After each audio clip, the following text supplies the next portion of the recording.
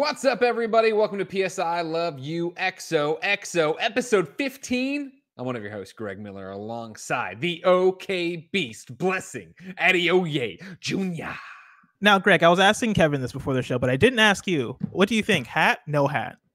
Now, I personally like you without the hat. I think you you let it Oh. roll. Yeah, but I don't want to get in the way of your style. Kids have Mhm. style these days. When I was growing up, we Boo, did. Greg's you know, got we bad had two opinions. turnips and we called it a life. That's what it was. Excuse me, Kevin. I'm speaking. Boo! Greg has bad What's speaking? opinions. First off, I'm just saying. Boo! I'm You've way been louder making than a you. lot of shows from home for the last few weeks. We've seen you I hat have. on. We've seen you head off. Don't worry about it. You get a chance to do it again tomorrow. Do what you want with it. I mean, that's know? a good point. It's just the thing of like I have I have multiple hats, but this is the only hat that I have available to me that that's that's out of the boxes. If I want to get another hat, I got to go digging. And I kind of like what the hat's doing for me for this like work from home Sure. setup because I feel like it's it adds an extra dynamic because my room's very boring. I don't have any Yeah. posters up. I don't have Right. like the flowers like you got. I don't have the peep, Sure, um, which I don't yeah, know if I'm yeah. supposed to acknowledge the peep or not, or that's You just can supposed the to be a, a background. acknowledged. You know what I mean? I think it's kind of insensitive that everybody else seems to have one except you and Kevin. Like I think that. Yeah, I've been waiting on my peep, but I oh wait, no, Kevin has a peep. Oh, you got a Why peep. does everybody finally. have a peep? Why don't I get a peep? I don't. That's a Nick thing. Did Ke- Kevin? Did Nick finally give you that peep, or is that peep from something else? Uh, yeah, Nick gave me the peep. Huh. So Nick Oh, just wow. left blessing. us. Yeah, Wow, but that's I, uh, I heard today on that hurts. on some show that the peeps were going away. Well, yeah. I, we Jen and I talked about that, and we have cool friends Yeah. because, of course, now uh, you know Easter is over. Well, I I didn't know they were Easter pe- peeps. That's what peeps are. Easter, unless they're the Halloween peeps. You know. But those are pumpkins. Wait, These are bunnies. What about regular peeps? um, regular peeps are Easter? That's an Easter candy. yeah. What? Aren't peeps just the bunnies in that shape? Isn't that, isn't that just all they a make, peep is? they make the It's a birds dove. too. they make a dove, right? Is it a dove or is it just a, a chickadee? You know what I mean? Just some it's a generic- chickadee. It's a chickadee. Yeah. Okay.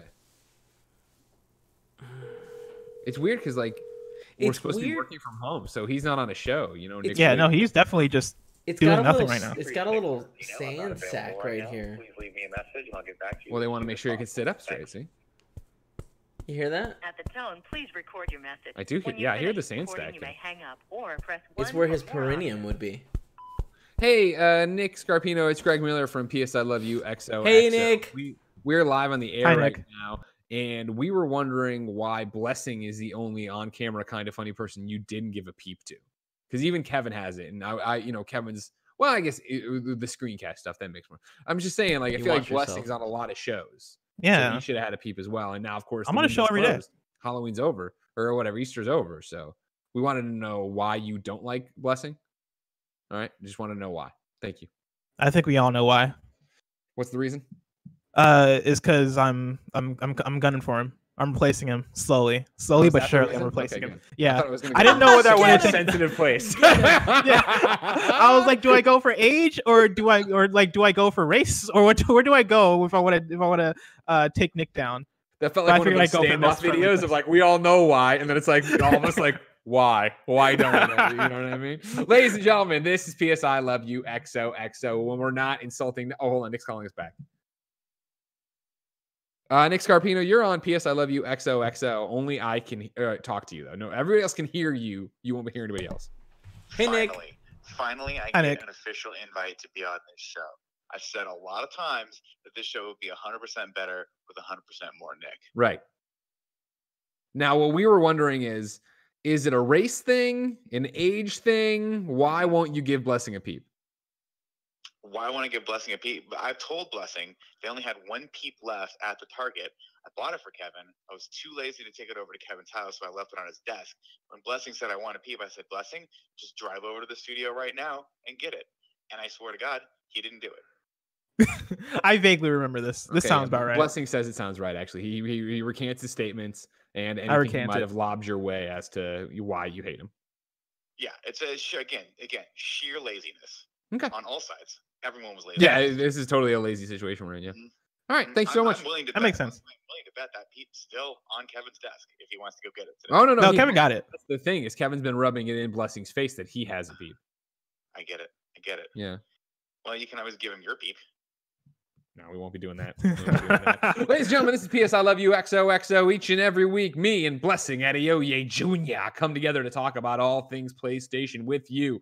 If you like that, head over to patreon.com slash kind of funny games. You can, of course, submit your questions. You can sup- support your opinions. You can put in your uh, PSN profiles to be judged, along with maybe a little bit of trophy time with us. Uh, of course, you can get the show ad free. You can get it with the exclusive post show. That's all on patreon.com slash kind of funny games. However, if you have no bucks to toss our way, it's no big deal. You can get the show for free each and every Tuesday. YouTube.com slash kind of funny games. Rooster Teeth and podcast services around the globe.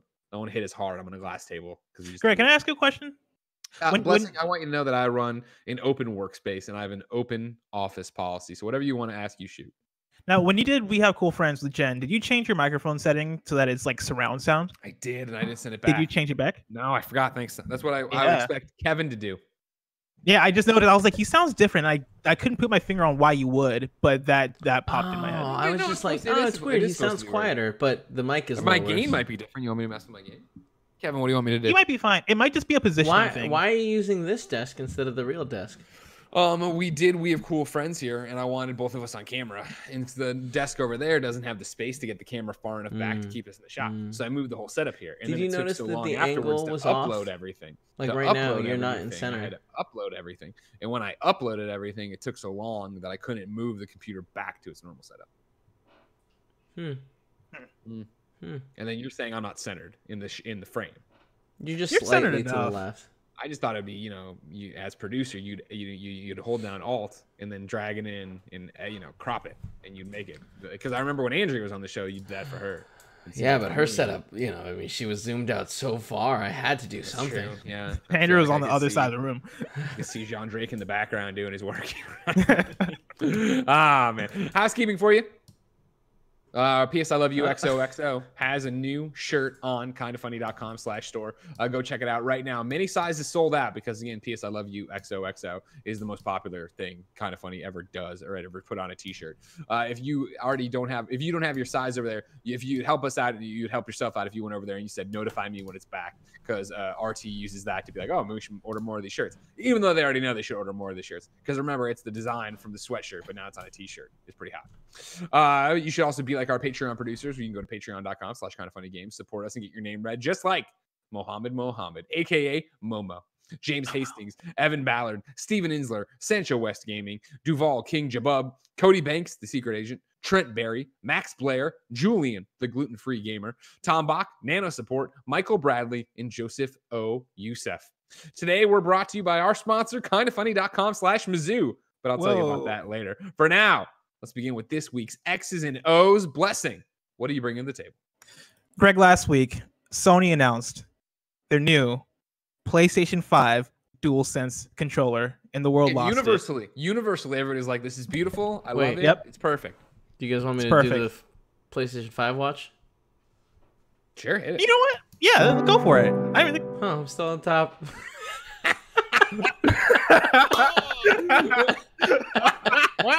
Do it again, Kevin. No, it's coming this time. Do it. It's fine. Oh no, I wanted you in it, Kevin.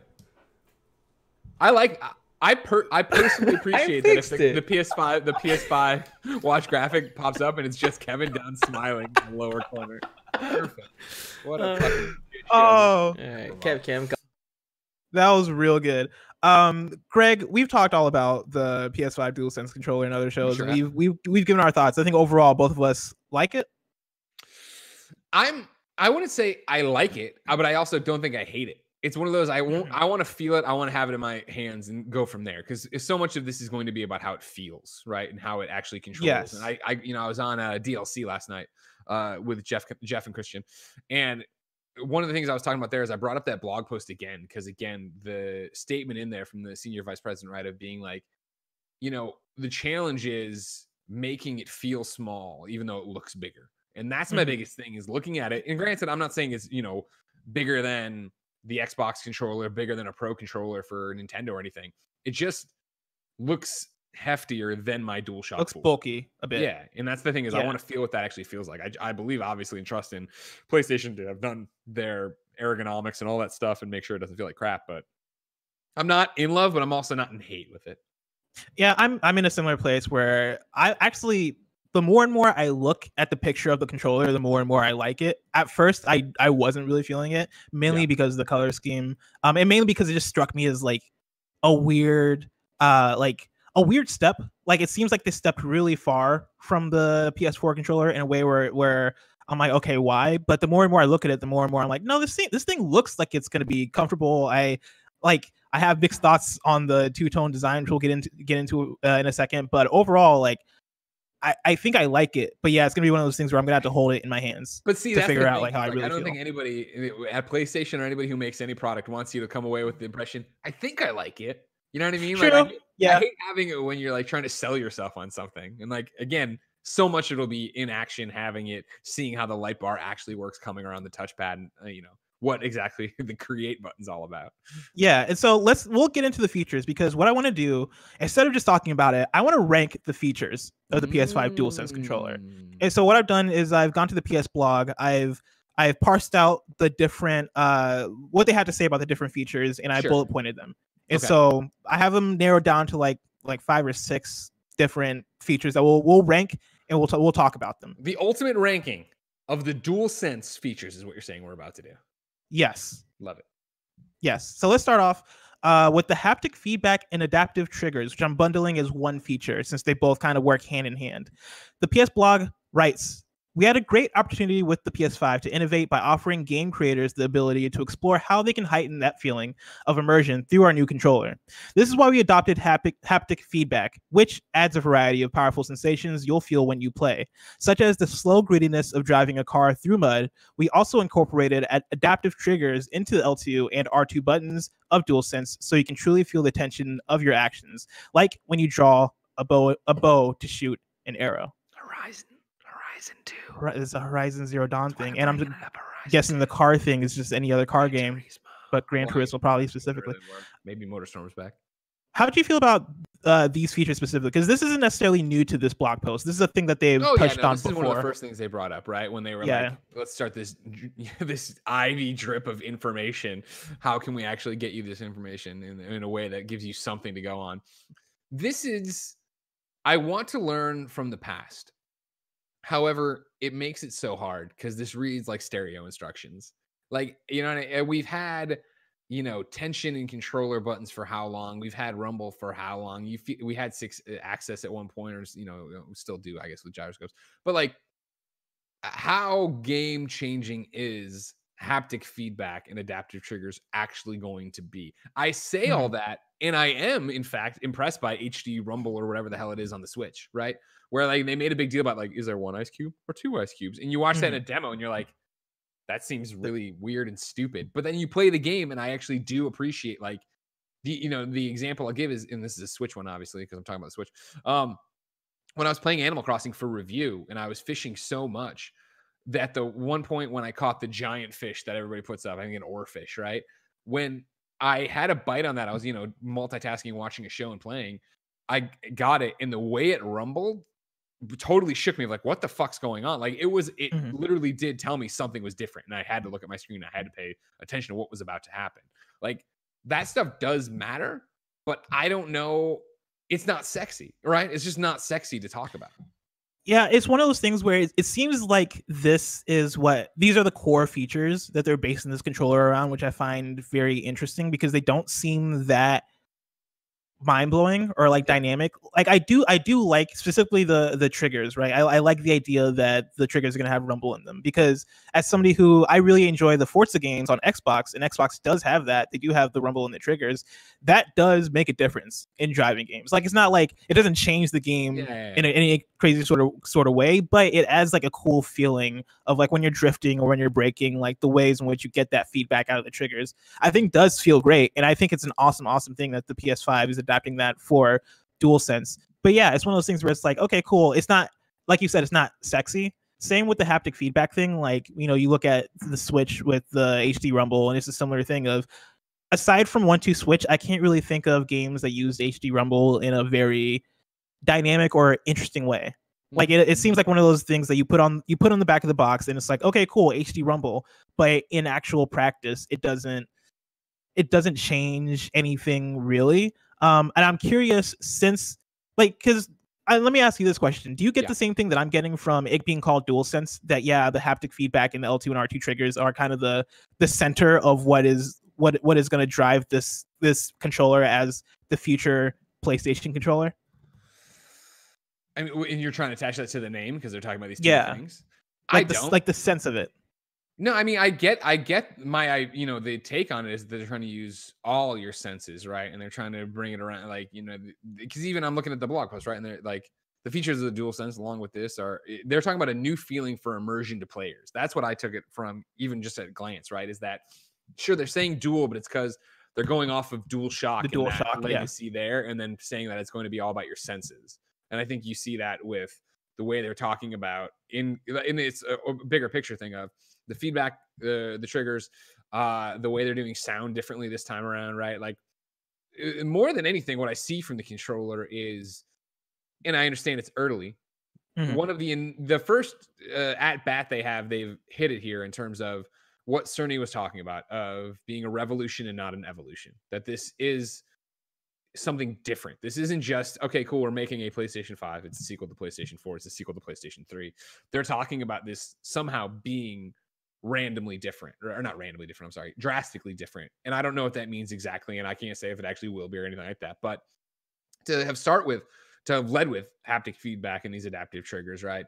To then talk about the way they're redoing audio, to then talk about load times, and then talk about this like to change the name of the controller, to change the design of the controller, I feel is in line with how they're trying to market PlayStation 5 already. And that is the fact that this is this ain't your mama's PS4, right? Like this Mhm. is something, something new. different that you need to pay attention to. Will that pay off? Is it all just marketing? Is it all just buzzwords? Because you bring it up as well. Like outside of one two switch, did anybody really take that much advantage of it on Switch? And this isn't a Switch podcast, so I really know. I, and I never did like Ring Fit. I'm not sure. That was strapped to your leg and shit. I don't fucking know. Yeah, But- like it, yeah, there's certain features from the Switch that I think like the gyroscopic or gyroscopic things, like that stuff was used in stuff like Ring Fit and like other games. But yeah, like in terms of the comparative uh features here, right? The the Yeah. rumble, the or the haptic feedback, I should say, the uh the trigger stuff, right? Like I think that stuff, specifically the haptic feedback, that's stuff that I expect to see used in first party games like Yeah. games where like sony is going to encourage developers to kind of put, to put that stuff to use because those games are only coming out on playstation Sure. in But terms of third party much- games i'm how curious much will it actually be put to use, and what will it actually mean? Right? Like, Mhm. is this six axis again, where they're gonna get so hung up on it, and I have to use the six axis to throw a fucking grenade in Uncharted when I'm like, just let me throw the goddamn grenade. Like, yeah I, I this tr- is different because it's gonna be a feel to it, so it's there. But if I'm playing, if I'm playing, uh, uh, whatever open world, I'm playing Horizon Two, right? And then Mhm. I'm also at the same time playing the new Assassin's Creed game. Am I going to be able to tell a difference in terms of how the triggers feel versus is it going to yeah, actually Yeah. matter? And again, uh-huh. we're talking as if this is a big deal because right now it is the, one of the few breadcrumbs we have to go on. When we get there and you do have, you want to talk about icing on the cake, you do have this amazing cake that is this huge game. And then the icing is the fact that, yep, the bow feels a little bit harder, it gets a little bit shakier as I go. Like that's all neat stuff that doesn't need to be, you know, a pull quote or a bullet point on the actual review. It can just be something that's there that's adding to the immersion, which is their whole shtick with this, right? Because it's like, uh, and here our vision for how the new controller will captivate more of your senses as you interact with the virtual worlds in PS5 games. They're not saying this is why you buy a PS5. They're just trying to say that this is a part of what is this grander picture. yeah. I i could see the the triggers being used like the the responsive triggers being used more so than the haptic feedback especially given that xbox has that on their controller. So that's a that that's the thing that i think will will translate. I i'm curious to see how the haptic feedback will will manifest. Though the way i want to do this though uh, in terms of the ranking them Yeah. i'm going to do this in review style where since we just talked about the haptic feedback and adaptive adaptive triggers i'm putting Oh, that on the board it's our current number one Number one, congratulations, haptic feedback congratulations and adaptive did it. triggers. you The did it Number one, can they maintain it the whole show? You'll have to We'll see. find out. let's talk about the two-toned design Put it which in, the number one. In the blog they write traditionally our base controllers have a single color as you can see we want a different we went a different direction this time around and decided on a two-toned design greg the controller is mostly white it's white up top with black highlights on the bottom Mm. where the trick where the not the triggers where the analog sticks are greg how do you feel about the two-toned design of the ps5 dualsense Uh, I think it's the most important feature. Sorry, haptic feedback. You have to. sorry haptic on. feedback Uh, you had a nice run so you're asking how do I feel about it in terms of my personal opinion of it? yeah I think it's cool. Like I, the more I think it was such a stark difference. I think it's from what we're used to with DualShock fours and DualShocks of the past that it caught people off guard, caught me off guard. Uh, and while I sit there and I'm like, I can't wait to hold this and feel what it feels like, yada yada. I think the look of it is cool. I do like the two tone thing. I do like this white on black so far because it is stark and it is different. Uh, what I like the most about it is that I think it signals what this console is going to look like, or at least what the color scheme of this console is going to be, which I think then gets really interesting. yeah of- they wouldn't. I don't think they would do this and then give you an all black or an all white system. So, how is the PS5 using these two colors? How is it using light? You know what I mean? How is it? Is it is it doing anything special with that? I think even with uh, you know, the PlayStation 4, right? Like I always love the blue light and the and then into the white light for kicking on. I don't like that it always sits there with that orange light when it's just in sleep mode and charging. And I know this is a Mm. goofy thing, but if we're talking about like what are we envisioning overall for this and what is the color palette for the PlayStation 5 and what is this brand's identity? For me with my PlayStation, the orange has never been part of the brand identity for the PlayStation 4. And so if it was blue and white for sure, of course. I think you see that Mhm. all the time on stuff, right? Whether it be the back of the PlayStation, you know, blue ads, greatness awaits or whatever, uh, you know, the white of just the light bar, the text, the way blue and they use blue and white all the time in their advertising materials. Like to see them right now, our first glimpse of something PlayStation 5 related be black, white, and blue. I hope they commit to that and I hope they use that in a really interesting way with it. You know, I think Mm. We've talked about uh, Xbox Series X, right? And that slotted top and the the green they have of that glow they have of it. Like, I'm fascinated to know what the PS5 looks like because I think it'll be black and white standard, and then how they're going to use lights in it. Is it going to not have a cooling unit like a PC, right? But what if one side is exposed and it is blue light pouring out the side or white light pouring out the side, depending on what's happening? Uh, I think that's awesome. And so, like, when I look at this, I know the first thing when it went out, so many people talked about it. Oh, it looks like Detroit, Detroit Become Human, right? And it does. It hmm. does look like the androids in that, which is cool, I think, and gives that futuristic vibe to it and gives that either matte finish or that super slick, almost leather pleather finish to it. And so, how do you incorporate that all into the box? And am I reaching too much in, or seeing too reading too much into this color scheme and the two two tone design, or in fact, is that what they want me to take away from it because they've built it so much? What do you think? Yeah, I, I, I mean, I think 100% the box is going to reflect this two tone design. I don't necessarily love it. Like it's it's really, it's what don't you like? What don't you like? I, I I think the the colors are just placed awkwardly on the controller. Like that's my main Mm. thing. And maybe maybe it is the specific colors they chose here. Maybe if it was reversed in or maybe not reversed because I don't think I like I, I don't think I'd like that either. I just don't like it. I just don't like the uh like it seems like 75% of the controller is white and then like you get the 25% the way that's placed ab- ab- over the thumbsticks i'm not really there's something about it that comes off awkward to me. Granted Really? over the over the last week the more and more i've been seeing it the more and more i I- i feel like i've been adjusted to it and i've i've become more accepting of it.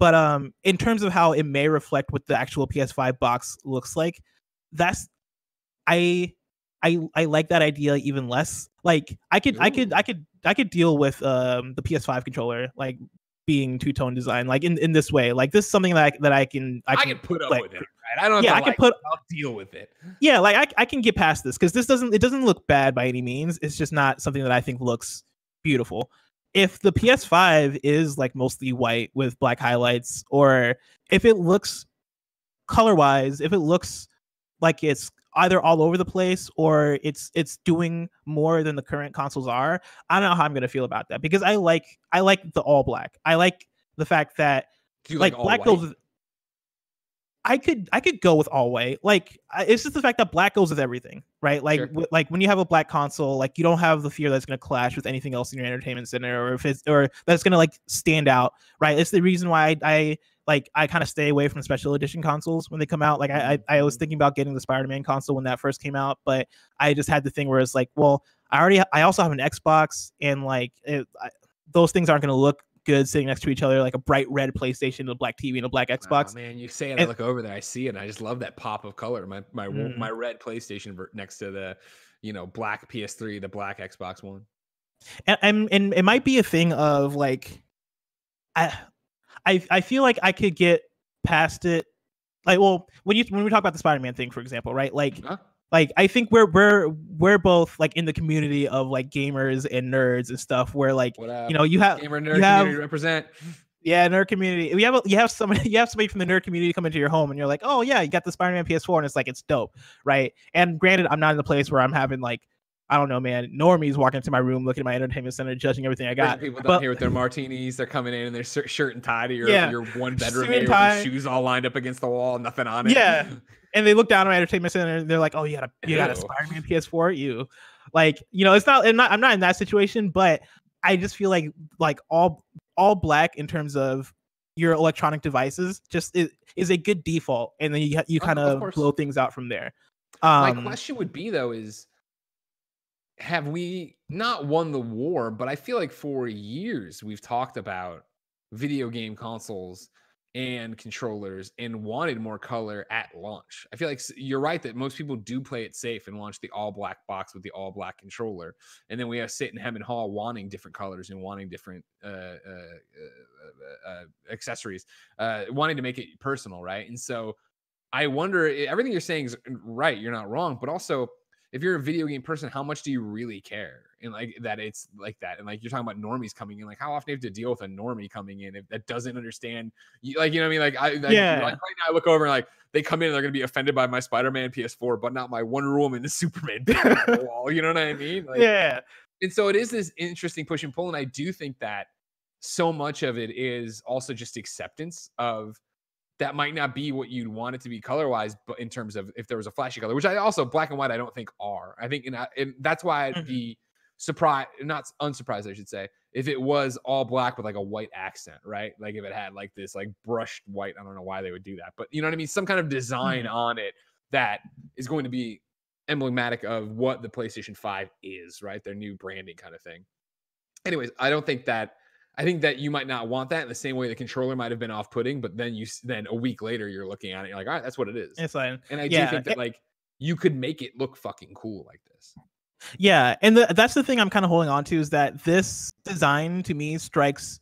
It seems more futuristic. Like we we reference like Detroit Become Human, and I think I've heard people talk about like comparing the controller to like WALL-E or or something like that, right? Like my my immediate go to was the was the um, White Fudge Oreo. I, Yeah. I, I think that's what it's called. Yeah.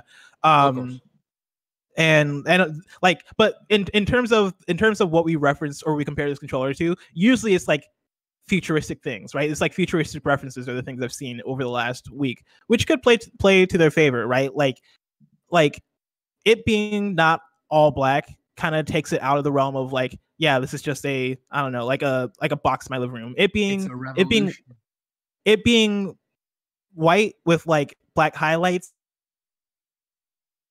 dynamic look could bring it into like could could take it from being like okay this is just a like a box to like okay no this is a piece piece of futuristic technology. And that's the thing about it, where I think you could get, if it doesn't look, you know, if it doesn't look the same as every other box has, and even to in some respect, right, we're seeing Xbox do this, where guess what, it's not just a rectangle. Well, hold on, it is just a rectangle, but it's not just the normal ass flat rectangle we've come to Yeah. expect, right?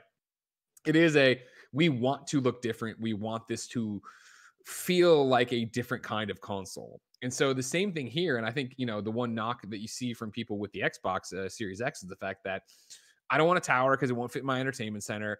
It looks ugly like a log on its side. So if it was that PlayStation came at this and we're like, we're gonna make you, like you're saying, if few it's 2020, like your technology should feel or have that look to it, at least that clean look, right? That sterile look that uh, every science fiction thing reaches for at some point, whether it be Detroit or something else. Like there's something there. And I don't think it's going to be a dramatic, you know, like the floating orb or whatever from the PlayStation 9 commercial way back in the day. I don't think it's going to be that ridiculous, but I do think it's going to be something we haven't seen before. Hmm. So we'll see. So wh- where do you want to put it in the ranking? Do we put it above or below the uh, haptic feedback triggers or haptic feedback and adaptive triggers? I put that uh, personally. I put it at the top because again, I, and I know this Really? I I think it's I think it's more. It's the importance of these design features is what we're talking about, right? Like we're ranking how Sure. important each one of these uh, features is. I Mhm. think that I will think about the two tone design raises fascinating questions about what the PlayStation 5 looks like. It's our first glimpse at what the PlayStation 5 in any way, shape, or form looks like, whether it's just a color scheme, whether it's something more. And I do think it's something you will think about more six months after launch than you will the, the haptic feedback and the triggers. I can get behind that. I can. I, I can. I, I think that's a good point. I'm down to put it below the, um, or above the haptic haptic feedback and adaptive triggers. Also, we should acknowledge the the video quality for uh video watchers because Kevin just uh, slacked us saying that it took a nosedive. Is it bad for you? Because you're terrible for me. I look great though, from what I can see, huh? And I look- You're pretty. You're pretty pixely for me. I mean, I look. I look great to me. no, you look terrible. You're all. I mean, it's getting Oh. worse. You're getting mosaic and you mosaic. You know. Yeah, you. You How also are you look guys so dumb? I don't understand. Obviously, your webcam isn't being streamed over to your computer. It's gonna look like sh- like amazing. Wait, you're telling you're, you're telling me that the way this works isn't that Discord sends my own webcam feed to a server and that server then sends it back to me? You're saying that's not how it works, Kevin? I mean, Kevin, here's what I'm gonna tell you. All right, is I look fucking great. All right, I can see it right here with my own two eyes. I don't know what you're talking about. Now, what I was thinking is if I I looked good on yours, on your little on your screen capture. No, you look like crap. Blessing. Well, I'm saying worse. compared to It's the- Blessing, yeah, look like compared George to Clooney. Blessing, yes. He looks like Danny DeVito. I look like George Clooney. I'm that's sorry, ex- Danny. I know you're a big holy shit! You stole the words out of my mouth. I was exactly gonna be like, yeah, he looks like Danny DeVito. And then Kevin breaks up, and I can't understand a fucking yeah, word. we can't hear a word Kevin's Not- saying. not- Oh word. Well, Lord the kids Almighty! can. People wanted the garbage truck on fire, and they got it. The kids can, you know, they can hear me clearly I for the know if they same reason. Because I can't. oh, I do look mosaicy. Now How here's the you- thing. Now here's what we're. Let's talk it all out real quick, everybody. Uh huh. Because we've we've had the theory before, right, Kev? That it was that. Well, I guess that wouldn't make sense. That's for me. that wouldn't make any sense. You have nitro and I have nitro. Blessing, do you have nitro? For I don't have nitro. It- Should I get only nitro? Only one person needs to have nitro to make. That the was our idea, right? And look at it now. I don't think that has anything related. I'm just to- saying, let's throw money at the problem. Let's see what happens. I mean, when I, think buy nitro, I'm down to. Nitro, uh, blessing. You can buy nitro, but on your dime. Oh if well. it fixes the problem, if say. it fixes the problem, we'll reimburse you. Ooh, If I like makes it. Roll the problem dice. worse- Do it. Wait, Or hold on. Do I have a choice off. in this? Do it. Do it. Yeah, Just do it's it. your Just choice. Toss in the ten bucks right now. If it works feel and everything gets better, pressure. guess what? You get ten bucks from Kind of Funny. Okay, how do I buy doesn't, nitro? You owe me ten bucks and Kevin ten bucks. Oh, so I lose like thirty dollars total in this Thirty wager. dollars on this. It's hey man, you wanted to play the game, right? You're always talking about I works. love video games. I wasn't Hold listening on, though. Discord Nitro. Ten bucks. I'm gonna go. Well, when I I'm type in go. when I type in Discord Nitro on Google, the first suggestion Why is are you Discord typing Nitro anything? in? You're in Discord right now. Yeah, but I can't find the button in Discord to buy Nitro. What the hell? No, There's a lot of buttons. Oh, you- never mind. It's right there. It says. Nitro. I can see it. All right. Hey everybody, it's Uh, Greg Miller, and this is PS I Love You XOXO. As you know, there's a pandemic here and these. I was gonna say United States, but in the world. In the world. We're working from home, and that means we have to figure things out on the fly, and that's what we're doing right now. If you like this, guess what? You're cool. If you didn't like it, you probably already turned off the show a long time ago. And so, fuck those people. Am I right? People who are cool. Ah, fuck them. Fuck them. They suck. God, I hate those people. Yeah. Your mic sounds so quiet. It's so funny because the difference is what? Four inches, maybe three inches? Oh, because it's down here. Yeah. Because it's usually like here. I don't know. Does this sound you better? lower the I, gain? I also moved the gain. Yeah, yeah, yeah. Oh, bring it up a little bit. I asked earlier, nobody said anything. So here comes the gain. Here comes the gain. Doobie doobie. Is that better? Yeah. Perfect. There we go. All right, now we there got we to go. Uh, is blessing broken or No, No, he's trying to figure I'm I'm Nitro. almost there. Clicking on buttons was too hard for me. You know? blessing? You don't have to worry about it. We were just kidding. We're never. No, but I want I want you. I'm actually very curious now. Me too. It's What just I gotta type in all my payment information and it's a lot. It's a lot. uh, uh, What- you, you should just save it. You know, I use PayPal. That's what I do. mhm, sometimes. mhm. Well, no, I, I I also used PayPal, but then it took me to Discord where it has all my old uh, info. Um, just charge it the OK Beast company credit card. Nobody will care. Oh, perfect. Oh, you're right. Here's my we other definitely didn't have a credit card. That credit Here's card was just my question. wallet. What up? Now, Kevin, Yeah. you know they got they got the you, you get a boost or something they always talk about I for don't know what servers you're crap. talking about. There's all these things you can do here, right?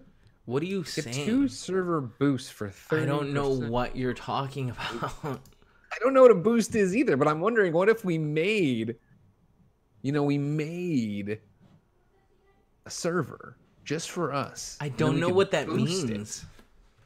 If we All right, boosting so I server bought- allows I it to did it. progress two levels towards levels.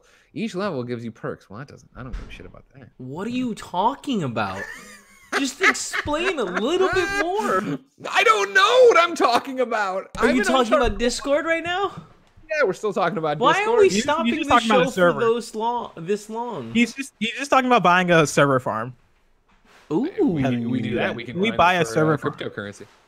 Also, I I finished the Discord Nitro. Looks like nothing's different, and so Well, I owe fuck. both of Looks you like ten you owe me dollars. ten Yeah, bucks and yeah. Kevin ten dollars. Oh, I see. And then you had to pay ten dollars for it. I get it. Yes, so that's thirty dollars. It's math, Kevin.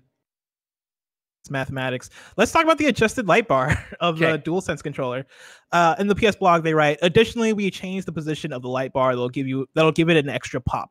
On DualShock 4, it sat on top of the controller. Now it sits at each side of the touchpad, giving it a slightly larger look and feel. Greg, I like how the how the light bar is working this time around. Yeah, um, no. without having without having used it, obviously, but like Of course. in terms of how it looks, right? Like what first of all, the back of the controller being being uh freed up again and like not doing anything too crazy. Uh I like it's, it's interesting for what that means for VR, but Yeah. I guess that's a that's a question we'll get an answer to another day. In terms Well, of if I can Oh, get in on this, because this is something obviously as somebody who loves PlayStation VR, I've been back and forth and around the block with, where people, you know, it's already confirmed PlayStation 5 backwards compatible with uh, uh, uh, uh, uh, uh, PlayStation VR. And so then my question was when they debuted this, well, then there's no front light bar to this. How does PlayStation VR see this? But then I've had conversations with people where they're like, well, if it's backwards compatible with PlayStation VR, maybe you just need your DualShock 4s with it to still play any of those. If you need a light bar game Oh. like that, you need your light bar game with it. And I was like, that's fascinating. But then it brings up my question about PlayStation VR 2 and what that looks like. And the prevailing theory from people I've talked about is, and I don't know the tech, but it's the one where it's in out or out in. I think it's in out. Kevin, if you understand, you chime in for sure. But it's basically the idea of how the quest is, where it's like, you know, the lenses are looking all around for it. That maybe this time around with PlayStation VR 2, the idea would be that you don't need the PlayStation camera to watch you anymore. Instead, the camera, the cameras are in the headset Is and watching your surroundings? bar. Yeah, so it's like yeah. Quest, and then it's also wa- if for something where you need the controller controller I don't know. rather that- than. I'm sorry, I- rather. Oh, that's that's really cool. I didn't even know that sort of technology was being implemented. Yeah, I, and so I guess the- yeah, with the Oculus. yeah with quest right? So like that that's an interesting wrinkle to it especially for me of that. It's still weird because i feel like it's even more cumbersome of hey i bought a playstation i just bought a playstation 5 and now i want to get into a playstation vr and you buy a playstation vr and you bring it home and you unplug it and it's like oh this controller doesn't work for every game with it. Because it would play for a lot of games it would work but not all. And it's like that's when we start getting but i guess i'm also why am I so hung up on PlayStation VR getting bought with PlayStation 5 when in reality it's probably going to be people bringing their PlayStation VR with them? Like the next big boon for PlayStation VR would be the second headset, which you imagine Yeah. all bells and whistles. and that's a that's a sacrifice I could see them making, right? Like if you have PSVR one, in order to use it with the games that require movement from the base DualShock controller, you're gonna have to bring forward your DualShock 4 to the PS5 Yeah. in order to use it. And when And we get? PSVR two, that's when everything carries forward. And you hope, Yeah, I can see right? If if with PlayStation 5 being backwards compatible game wise, that it's backwards compatible with the controllers. So you have why would you ever get rid of your DualShock 4s, right? Like you'd have the the dual sense that comes bundled for you, and then maybe get one for if you have a partner who co-ops all the time, but hold on to your other DualShock 4s. Suddenly you have you know this library of things ready to go. Yeah. In in terms of how it looks, you know, I love this way better. Uh, I imagine this would Oh sure. help for battery life. Like I like how it looks just stylistically as a whole. Like in terms of what we were talking about earlier with the futuristic look of the dual sense, right? I think that adds to it in a way that makes more sense than the dual shock because it was it was like halfway through the generation, maybe like maybe like a third of the way through the generation Yeah. where they added the yeah the the um the what do you call across the touchpad. Okay, the- yeah, the slit across like the top of the touchpad uh, for dirty, later right? iterations. It does sound dirty, which is why I was like, I don't know if I want to repeat that word. Yeah, do. Um, but like I I this lo- this seems like a way better solution. Um, Well, what I like you're gonna have like direct interaction with like you're gonna be able to see it way more clear. Exactly. That's the thing about it where I think the light bar, we always get so hung up on it being a VR thing. And then beyond that, maybe beyond it being a, hey, it's telling you what player number you are. But there were games, and there, I shouldn't say there were, there are games that do cool things with it. Like I always appreciate even something like Thief that it would show, you know, if it's bright white, you're visible. If it's darkened, then you're not. Like, right. It was a cool feature for you to hide on. Resident Evil, the way that it's green when you're healthy, you know, yellow when you're in trouble, red when you're about to die or whatever. Those were always cool, but I remember it would have been maybe years, but I feel definitely months where I was finally playing some game in a darkened room, like all hmm. lights off. It must have been a horror game. And it was like so oh my gosh, look at this. Like I see it's like projecting all around the room kind of thing. And I was like, oh, that's really neat. I never, pl- I rarely play games in this dark of an environment for me to see that through my environment, right? So if it is this idea that while I'm playing down here and I can, you know, even see my hands, my control, just a little bit of light to actually maybe use it in some interesting sense, okay, I can get behind that. Yeah, no, for sure. Uh, where do you want to place it then? Ah, man. This is where it gets really weird, right? Because I feel like, again, I think it's se- it's sexier than haptic feedback, but I bet the feedback and triggers are more important to gameplay than this is. So I feel like I it mean- has to go at the bottom of the list. Yeah, I'm I'm split because in terms of importance, honestly, this is probably the least important thing out of the out of, out of, out of these. But Mhm. in terms of what I like the most, like this is the feature out of the three out, out out of the three we have so far. This is the feature that I like the most. Like I think this oh is wow, so far the thing that like yeah when I when I saw the controller, I was like immediately I was like I like that solution way better. Like that seems like the the good way to go for that. okay. I'll compromise with you and put it in number two. I'll play Yeah. ball with you. I'll be dead Let's do that then. before it takes over It is number one. I want you Let's do that then. Right. The adjusted light bar is number two. So so far we have haptic feedback and adaptive tr- adaptive triggers at number three, adjusted light bar at number two, and then two toned design sitting at number one. Greg, let's talk about the create button. This PS1 is where we separate the men from the boys. Oh yeah. For the buttons, you'll notice there is no longer a share button as we had with the DualShock 4. Don't worry, it's not going away. In fact, we built upon the success of our industry first share button to bring you a new create button feature. With create, we're once again pioneering pioneering new ways for players to create epic gameplay content to share with the world or just to enjoy themselves. We'll have more detail details on this feature as we get closer to launch. Greg, Yes. they didn't really tell us anything, did they? They told us that they they didn't tell us a lot, but they told us enough that I think for somebody who loves the share button as much as I do, that I really and I know that sounds goofy because it's a goofy thing to say, but it was one of the features for PlayStation 4 I was so excited about was the idea of you know from a touch of the button being able to share to Twitter, uh being able to stream, right? I think now, you know, we don't we sit here and we're like, "Oh man, like everybody Twitch streams, we Twitch stream, you Twitch stream, everybody's you know, got their own Twitch channel and stuff. For me in particular, the way I got doing stuff on Twitch was through the PlayStation 4 share button because it was, oh, all I needed was the camera and the headset worked. And yes, I mean, now you go through and you do it that way, and it's such a clunky, weird, not great setup or system. And like, you got the weird keyhole. with, Like, it's just, it's not great. But when this when I mean when PlayStation 4 launched in 2013, right? Like that was how to Twitch stream for me. Like that was one of the things I was the most excited for. It was a way for me to connect and start my own Twitch channel and stuff. And so I loved that feature. I loved that idea. You know, I, I love to see them take it on uh, uh and and try to run with it right and sure xbox did it and then of course switch now has the exact same stuff and not for live streaming but for sharing your stuff to twitter actually better because you can post batch screenshots and a bunch of stuff like that however for them to sit here and say all right cool the share button's not going away but we're turning it into create. I think that especially in the playstation ecosystem create carries weight with it. You know i mean? Thinking of play create share right? When we talk about little big planet and now we talk about dreams. I do say that or do think that them saying and calling it create right? With create we're once again pioneering new ways for players to create epic gameplay content to share with the world or just enjoy for themselves that does get me interested to see what that actually matters in or means in what they've learned in uh, seven years, right? Since the last Mhm. time they did this and what they'd want that system to look like. And hopefully they'll update the goddamn character count on Twitter because that still drives me crazy.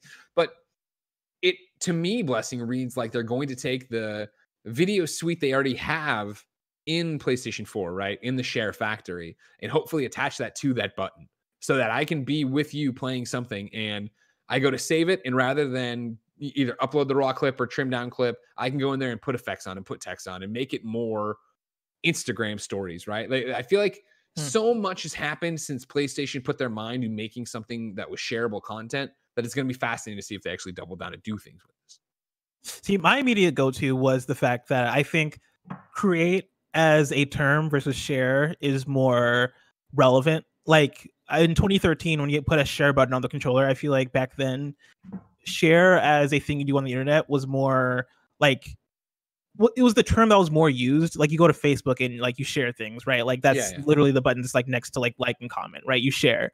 And I think nowadays with you see the rise the, the rise of Twitch or the further rise of Twitch because Twitch is already popular by the time the PS4 came out.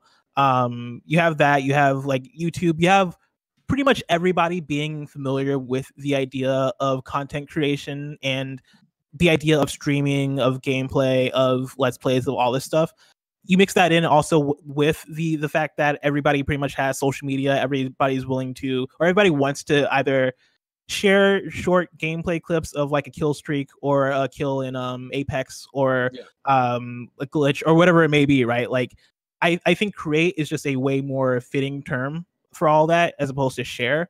Um, and so I like that change, but then also, yeah, with the implications that a create button comes with, and with what they've with what PlayStation has learned over the last 70 years, right? Like I whenever I I have a clip that I want to share on PlayStation, usually what I end up doing is well, one, I have it set so that any any clip I save, say like I I do like a I don't know, man, like a six three 360 no scope in Call of Oh, Duty. wow. I don't know Yeah, if that's still a thing people do, but say that I say I say if I pull that off, right?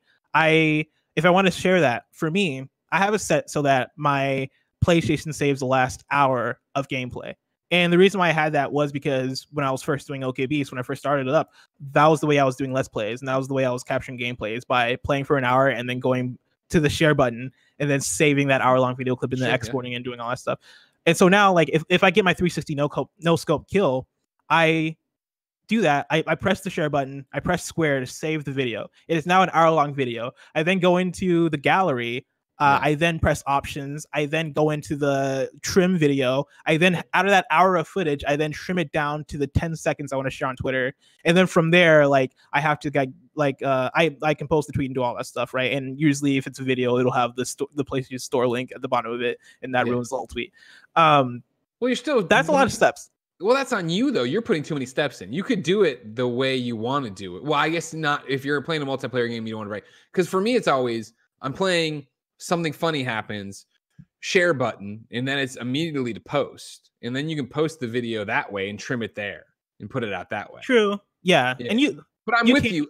I'm Yeah. with you of like what we're talking about right now. I think there's already too many steps. And I think that is all I think the share button's fucking awesome. And I think you can do and I think honestly, the what you're talking about, the gallery and the share factory, all the all the different creates and like putting your own bumpers on there and putting text on there, that all exists already. It's just cumbersome to get to. And it's not Yes, instantaneous exactly. slow as fuck. So why would you ever do it? The amount of uh screenshots and videos I have saved that I wanted to do something with and then totally got distracted and then forgot all about it.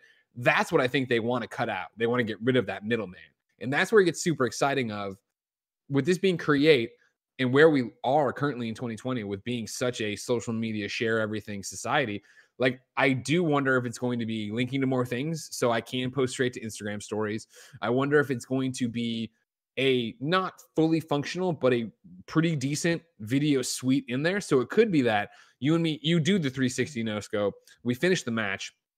While we're in the lobby you pop you're like hold on i'm going off the party. You mute the party you pop over there you clip what you want and then you get to do vo over it right? Where it's like trim it to this and then all right record video hey everybody it's me bless here's this cool thing i did blah blah all right watch ps i love you all right see you guys later. And you know do do do put it together put a gif put some text on it and then upload it that way like i, I think that that's what is, and I, I'm totally talking just from what they're saying here, but with Create Mode, once again, pioneering new ways for players to create epic gameplay content. Like they're talking about content, they're talking about sharing it with the world, they're talking about all the things we talk about. And so I think even, you know, putting the VO over it, I wouldn't put it past them to have it be that you can record a video on top of it as well. Like you can do a let's play with it. You can, you know, that they're sitting there and going, Mm. be able to edit are- gameplay and ga- or video and video.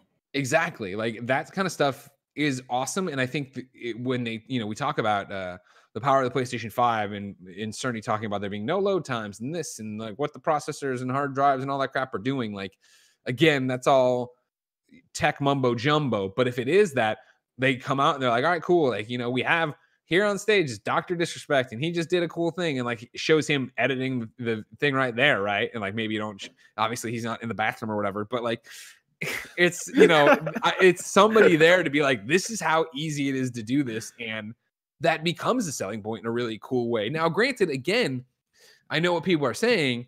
If i wanted to make let's plays if i wanted to do this thing if i'd go and get the aver kits or the elgatos and do all this stuff this is not only entry point stuff this is marketing stuff where it is if they make it easy and they share it to what you're talking about blessing where it sometimes tags get it at the PlayStation store, right? Like I'm sure the default overlay will say PlayStation 5 or whatever on it. And Mhm. you don't care that it's not being used by Ninja to make clips. You just care that a few thousand kids are making clips of their Fortnite stuff and putting it out that way. And yeah, maybe that acts as an introduction to them to get off that platform into something else, but that still benefits PlayStation. Yeah, I, I think making it the most streamlined, like accept, accessible thing for anybody to to use, um, would be the best the best thing for them to do with this. And I also think there's a whole conversation we're gonna have about like, do you incorporate dreams into this somehow? Like, is there is there is there a way you could- you put uh, dreams in at the system level for people to be able to like use those tools for for I, video? I think so. All but that how stuff do is you there put, how do too, you put it through to put it on like the create button? That's what the, you know. I mean, that's where I lose. Yeah. You know, granted, That's- I'm that- an that's- that's definitely where things get difficult. But I wonder if there if there are those conversations going on of like how do we just get how do we get dreams like incorporated into the PS5 at a system level for some of those features to be used by everyone in a way that then the, the complicated thing does get does get to like dreams is, dreams is difficult to use compared to like just the the streamline like let's just go from a to b get this thing from your your captured video to twitter as fast as possible yeah. incorporating dreams in, in, into that might be a bit much but i don't know man i think there could be something cool there Now, real quick, while we're here, and this is a PlayStation podcast, so we're allowed to jump around, and we'll get back to it. Remember? Dreams? oh yeah Remember when have we, played we it talked in the last few weeks No, we. I mean, and like I, this is my. I mean, uh, this isn't the woe is me, you know, heavy is the crown kind of thing, but like we've been on so many different reviews or whatever that it's been Yeah. go go go work work work. But I also feel like Dreams launched in February, right? And granted, the world drastically changed in a month, but I also feel like all the conversation about Dreams just died. Like we were all, and I, and I, know what you're gonna say if you're listening, you're driving your van full of nuns right now. You're like, well, it was conversation ever really that much, and you know, blah blah. Like, sure, it wasn't setting the world on fire, but it was. I felt like that. You were seeing articles about cool creations. You were hearing it on podcasts. We were playing it every week, checking in on, you know, at least every day for me for a while, but checking in, having our ideas, yada yada yada, and then a real re- review cycle came through with a bunch of other stuff, and Mhm. now it's that question of are people slash us or whoever going to come back to it when when you the listener viewer are done with final fantasy are you going to put dreams back in or are you on to the predator and then on to the next thing and so on and so forth because even with us like and i know we'll talk about what we've been playing but like you know we came off of animal crossing resident evil and uh yeah final fantasy doom eternal final fantasy yeah, Ori, Doom, like Jesus, right? What a what a year it's been for games, and maybe that's all that we'll get. But Mhm. and we came off of those, and my first reaction was like, I got to get back to the division. Oh, I got to do the Borderlands DLC. It wasn't. I got to check in on Dreams. I got to see what's going on, and I love Dreams. I'm I- not taking away from that. Yeah i've been th- i've been thinking about like you know with final fantasy 7 being out and us coming off of animal crossing and doom eternal i've been thinking a lot about like what game of the year might be right and i and Mhm. dreams came into my head and i was like man i wonder if like what presence if any dreams might have in those conversations toward the end of the year right because dreams is such like a a like a big man magnificent thing, but at the same time, it's so like hard to it's hard it's and we talked about this a lot, right? It's hard to message, it's hard to like wrap your mind your wrap your head around. But then like in terms of what we're talking about right now, where nobody's really talking about it, maybe because there, there's so much other things things happening, but even if, even in June, right, are people gonna be talking about it? And like Yeah.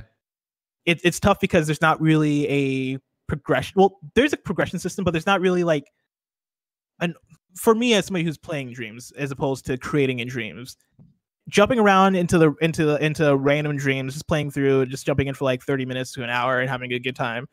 There's not really that that um carrot on the stick to keep me coming back in any shape Sure. any way shape or form there's not really a, really that side of progression there's not really something that's that that has me looking forward to logging in every single day there's no dailies there's no and i wouldn't yeah. want dailies either but i I know. I totally get what don't, you mean. like, I don't know what totally you mean. do And that's, you know, it's interesting because as we were talking, or when us, I brought up indreams.me, right? And the and it's going to sound stupid, but the page looks entirely different, right? There's new games in there. There's all stuff I haven't heard of, which is great and actually makes me enticed to go back and play Dreams because when we were talking about it every week and we I was checking in daily for the longest time, it was the same stuff up, right? It was their whatever the activity was for that week or that couple two week period where they were doing stuff that it just looked the same. So why would I check in? So I Mhm. wonder if it will. And also to your point of like, there's not dailies and you're checking on random games. It is that thing of like, these games need time, obviously, to be developed into full blown experiences. So of course you're sitting there going, well, this isn't something that gets the daily drip. It gets every few weeks something gets dropped into the game you're talking about or the game you're looking for from your creator. So it's yeah, a fascinating thing of like how much do you check in and not feel like you're ignoring it or something to that effect. Right now, worth noting, just for and I can't. I remember when we were talking about this, uh, and we'd check in on indreams.me during the show when it first launched. I want to say there was like what between like 3,500 and 5,000 online, right? Right now, there's 2277 players online, so 2,000. Okay.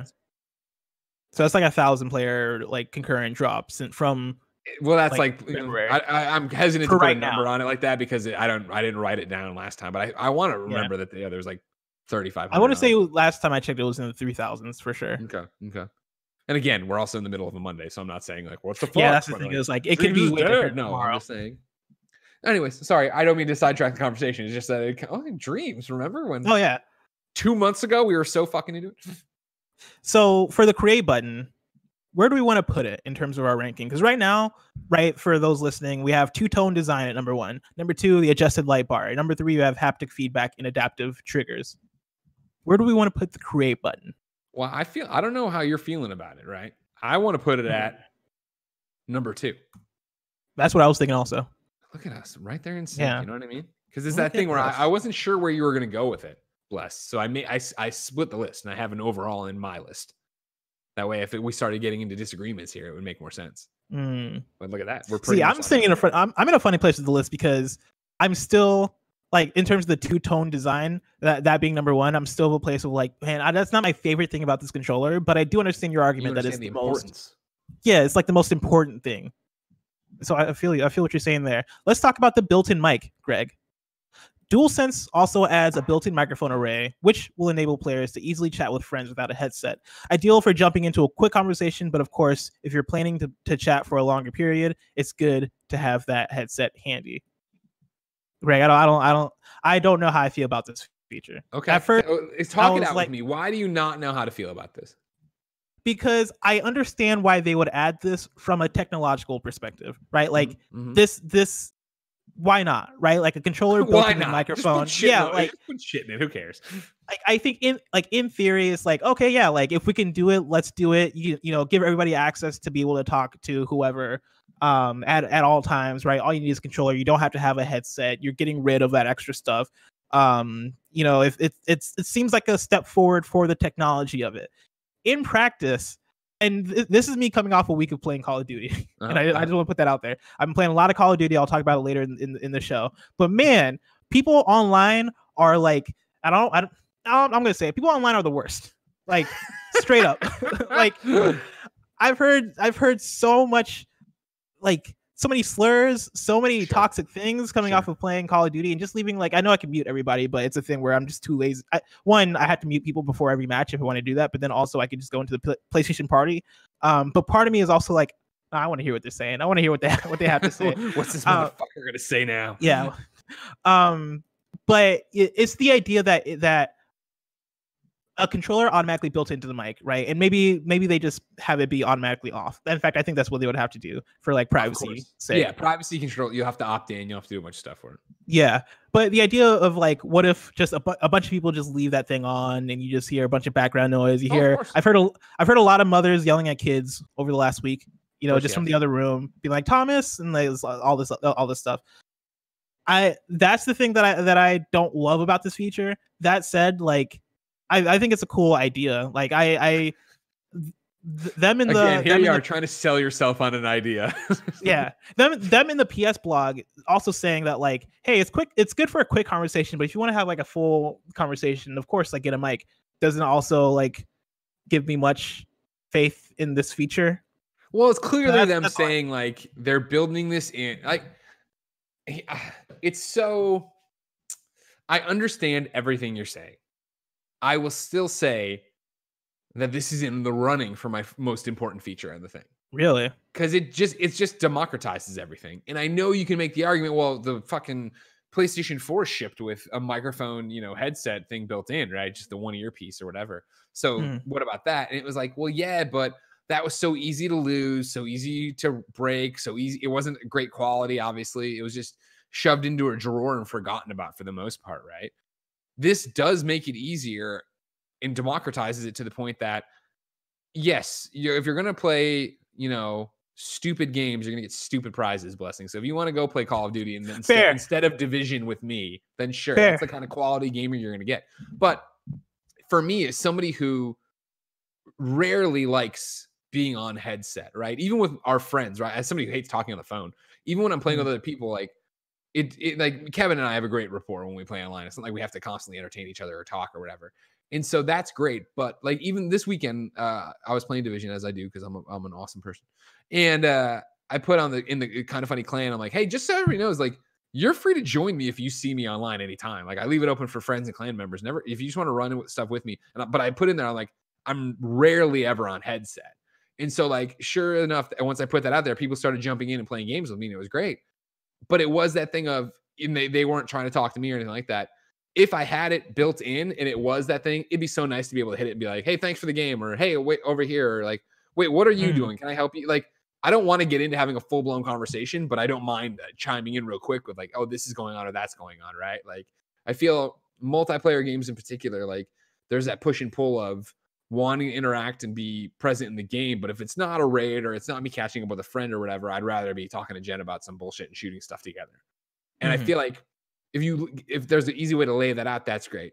Removing that my 37 year old man problems from it, it's also just awesome. I think for hey, the kids who want to st- talk and be stupid usually are going to go play Fortnite or Minecraft or whatever together. Yeah, they're going to get on Call of Duty as well, but there's going to be that thing where so many people are going to use that just to hang out with each other and just to have that ability to chime in.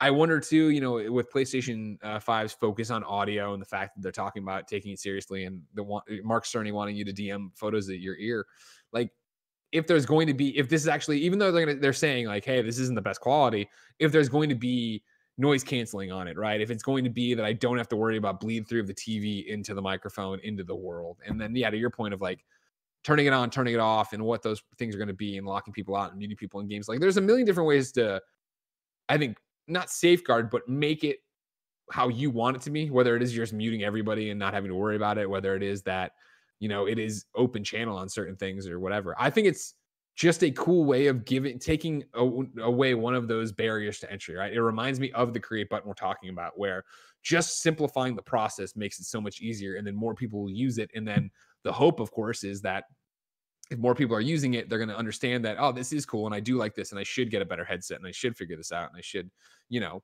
make for a better thing better world of online players better world of online players which won't I can dig it. Yeah, I think I uh, for for me me specifically, I, I appreciate that that extra barrier for all for all the reasons I said before. But I feel I feel like Yeah. you're saying in terms of like the d- d- democratization of of uh the microphones.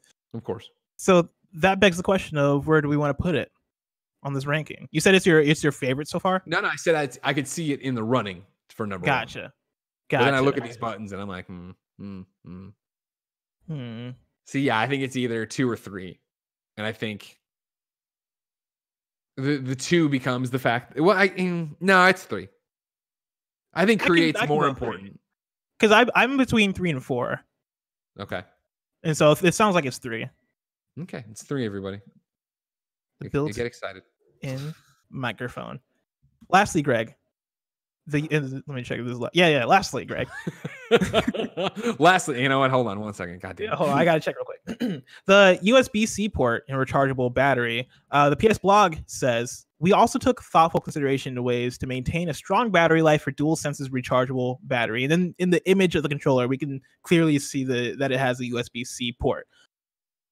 Greg, this isn't. I mean, the USB C port is new. The rechargeable bat- rechargeable battery is not new, but the idea that they are they're looking into ways to maintain a strong battery life for DualSense, good news because the DualShock 4 didn't have the greatest battery. Yeah, hundred percent. And also, I mean, that's awesome. Um, I hope that it actually has it. My my my hope, right, is that redoing the light bar the way they have and putting it behind the touchpad. I feel like you can have a smaller light bulb, but get as bright, if not brighter, uh, of, of uh, uh, light bleed out of the sides by positioning it properly and like using a you know not reflective surfaces, but like basically you know how you put a candle and you put your hand around the candle how much brighter that burns right or how much brighter it looks i'm hoping that that means that they'll be getting we'll be getting a better battery life out of it all that Yeah. removed just the fact that it's usb-c is awesome Oh yeah, that's great. as you know someone who is very stupid as you all know but enjoys video games like uh once everything started moving to usb-c and and tim gave me the crash course of like why usb-c is better on top of the fact that it's easier to plug in anyway you don't have to sit there and constantly rotate the damn thing just that it's so much faster that it's able to it'll be able to charge controllers faster you know what i mean like that's yeah, the biggest thing that's about it. Yeah And like, exactly. and, and and in terms of of like you know the simple things like being able to plug it in faster. There's also the fact that like there's so many other things that have come forward to USB C. Like my phone has a USB C charger, Totally. my Switch has a USB C, and so the idea that I can like switch around cords for that also sounds great to me. yeah Where Yeah, where do you want to rank that then? um Again, these are the this is the USB port plus the rechargeable battery. right which is the rechargeable battery no brainer right playstation's been on that for so long For sure. Mm. So we're ranking, ranking the features. Because right now, as we have it, it's number one, the two tone design, number two, the create button, number three, the built in mic, number four, the adjusted light bar, and then number five, haptic feedback and adaptive triggers. I mean, it's a big deal that it's USB C, but also it's like that's what it should be, right? Yes. Like that's what I think we all knew or hoped. Like that's if it, it would be. if it wasn't USB C, we'd have problems yeah, exactly. for sure. So while important, I don't think it's nearly as important as anything. It, would not. I don't think it's nearly as important as the top three. So I put it beneath built-in mic. So I I go would two-tone design, create, built. put- I'm sorry, what? Or actually, you know what? I can see what you're saying there. I was gonna say I put it beneath uh, adjusted light bar, but I think the USB C port, in terms of importance, is probably more important. Like t- in terms of technically, like it's probably more important technically than the adjusted light bar. and that's my thing is I think you said it yourself, right? If it wasn't USB C, we'd have a problem. In For the same sure. way, like if if the light bar hadn't been adjusted, we would have never. If if they would have released it and it still had the thing over there, we'd have been like, oh, they're like, we made it less powerful or whatever, so it doesn't eat your battery, whatever. Who cares if they adjust the light bar? We have to see that and see what it's all about. Everybody, we have our rankings. And number one for the PS5 DualSense controller features is the two tone design. Number two, the create button. Number three, the built in mic. Number four, the USB C port and rechargeable battery. And number five, the adjusted light bar. And at number six, the haptic feedback and adaptive triggers. Greg, we have some we have some questions here about the DualSense controller. Do you want I'll to touch on what. those? We didn't even promote the fact that we are going to lead with this and do this whole ranking and really get into the really, really nerdy PlayStation shit of the DualSense. And Oh, still, yeah. you you listeners are so fucking PlayStation nerdy. You all knew we would and wrote in with so many DualSense questions. So I want to start with Anakin JMT, who wrote in to patreon.com slash kind of funny games. Sorry, Kevin. I heard I distorted there. My apologies. Uh, after the DualSense was revealed, both Greg and IGN's Ryan McCaffrey put up Twitter polls asking if people preferred offset sticks or inline. Both poll both polls showed a preference for offset, although Greg's was closer than Ryan's. Do you think Sony might introduce a version of the DualSense with offset sticks? It seems to be the preference for first-person shooters and a few other genres, but I think it would be a nice option for people like myself who enjoy playing PlayStation games, but who would rather have the six sticks offset for our comfort. So yes, if you missed this uh, last week after all this happened, Ryan McCaffrey put up a poll that was basically I know my following is mostly Xbox, but I have to ask uh, do you prefer offset sticks or uh, inline sticks? And then he responded to his own tweet. He, he goes, I also know, or maybe this, no, he, he's like, I also know that if at Game Over Greg, you put up this poll, would be a completely different uh, results. And I thought that was so fascinating that I copied Ryan's exact tweet, went to my page, changed it to be, I know my following is mostly PlayStation, but put it up and then send it to Ryan. And sure as shit, yeah, even though it was by a wide margin on Ryan's, at least last I checked, uh, offset one on mine as well, offset one. And so, blessing, the question is, yeah, do you think Sony might introduce a version of the DualSense with offset sticks? No, like I, I I'm in the because I know there are offset versions of the PS4 controller, but those are all third party, right? Yeah, they're licensed, so I mean they're PlayStation approved or whatever. But yeah, Approved, but they're they're third party controllers. I think that's probably the best we'll get. Sorry. Yeah, I, I think th- I think that's the best we'll get as far as the PS5 DualSense controller. Like I think we we can get I think we'll probably get those same things. Not even probably. I think we will get those same things, right? The third party offset stick controllers, like the Scuff controllers. Is that what they're called? The Scuff ones? Yeah, you got the scuff one. Um, There's that Astro one where you can swap it in, swap it out. Yeah. Yeah, yeah, yeah. I think we'll we'll see those, but in terms of a version of the DualSense directly from from Sony, I think they I, I think they just they've just stuck by their guns. Like I, I I don't think I don't think they see it worth it to really make one on their own when they can have it be so that everybody's just on the same page. This is what this is what we believe in. This is what we're going by. This is how like when you have I, when you have the image of the controller pop up in a game, you don't have to like switch it over. It it is um in line. The the Yeah. dual the dual sticks are in line. I think that's that's just their vision for it. That's just how they they believe in it to be. I think you are 100% correct. I think that this is for this generation. I would have said so beforehand, obviously, but coming into PlayStation 5, this is a hill they will die on. I think that when probably when they sa- I'm sure they looked at versions of the DualSense or whatever that- when they were prototyping what the PlayStation 5 controller would be that had offset sticks. But I think that time and time again, they probably came back to the fact that even though this is meant to be a revolution, this is meant to be this thing, they still want it to feel uniquely PlayStation. And depending on your perspective, for better or worse, sticks, two inline sticks is PlayStation. And if they were to move them, it would 100% be seen as a sign of Xbox, right? That PlayStation finally gave it up. And I think that even though there is this argument that there is this preference for so many people, it hasn't affected PlayStation, right? Like if if PlayStation hadn't run away with this last generation of PlayStation 4, if there was a financial impact or ramification, if the scuff controllers or Astro controllers that are swappable were outselling the DualShock 4, you know, five to one or whatever, maybe there'd be some reason for. But in the long thing, the grand scheme of the things, I think here, mainly this always comes back to oh i prefer it that way but i play this way too. You know what i mean? Because it's that interesting thing of i know that i you know my career has been defined by playstation for 13 years now but i literally don't care. Like i'm brian altano responded to mccaffrey's tweet and was very much like i use the xbox i use the playstation i use the pro and i'm fine every time. And i've and granted i am very much anchored in the playstation ecosystem. That is the controller that feels natural and the one i use the most but when I hop over to my pro controller and play a lot of Animal Crossing, I'm not being like, oh man, this is weird, or oh, this is so much better. Like I just don't feel it either one way or the other. And granted, I'm not a competitive first person shooter. I'm not, you know, there's a million different use cases I'm sure people are getting out of it. But I would think that even with our Twitter polls, most people are like me, where it's like, all right, cool, this is what it is. This is Yeah. what a PlayStation controller is. This is what an Xbox controller is, and I'm not on either side of it going, man, I wish I had the other one. I think that's the thing is that I don't think the the passion is there. Like this is not like a passionate argument of people being like offset is better or inline is better. Usually it is like a preference thing, right? Yeah. And I honestly I think if if PlayStation came out and they revealed the the dual sense and it was offset sticks, then you'd have a revolution. Then you'd have people yelling in the streets being like, How dare you change it?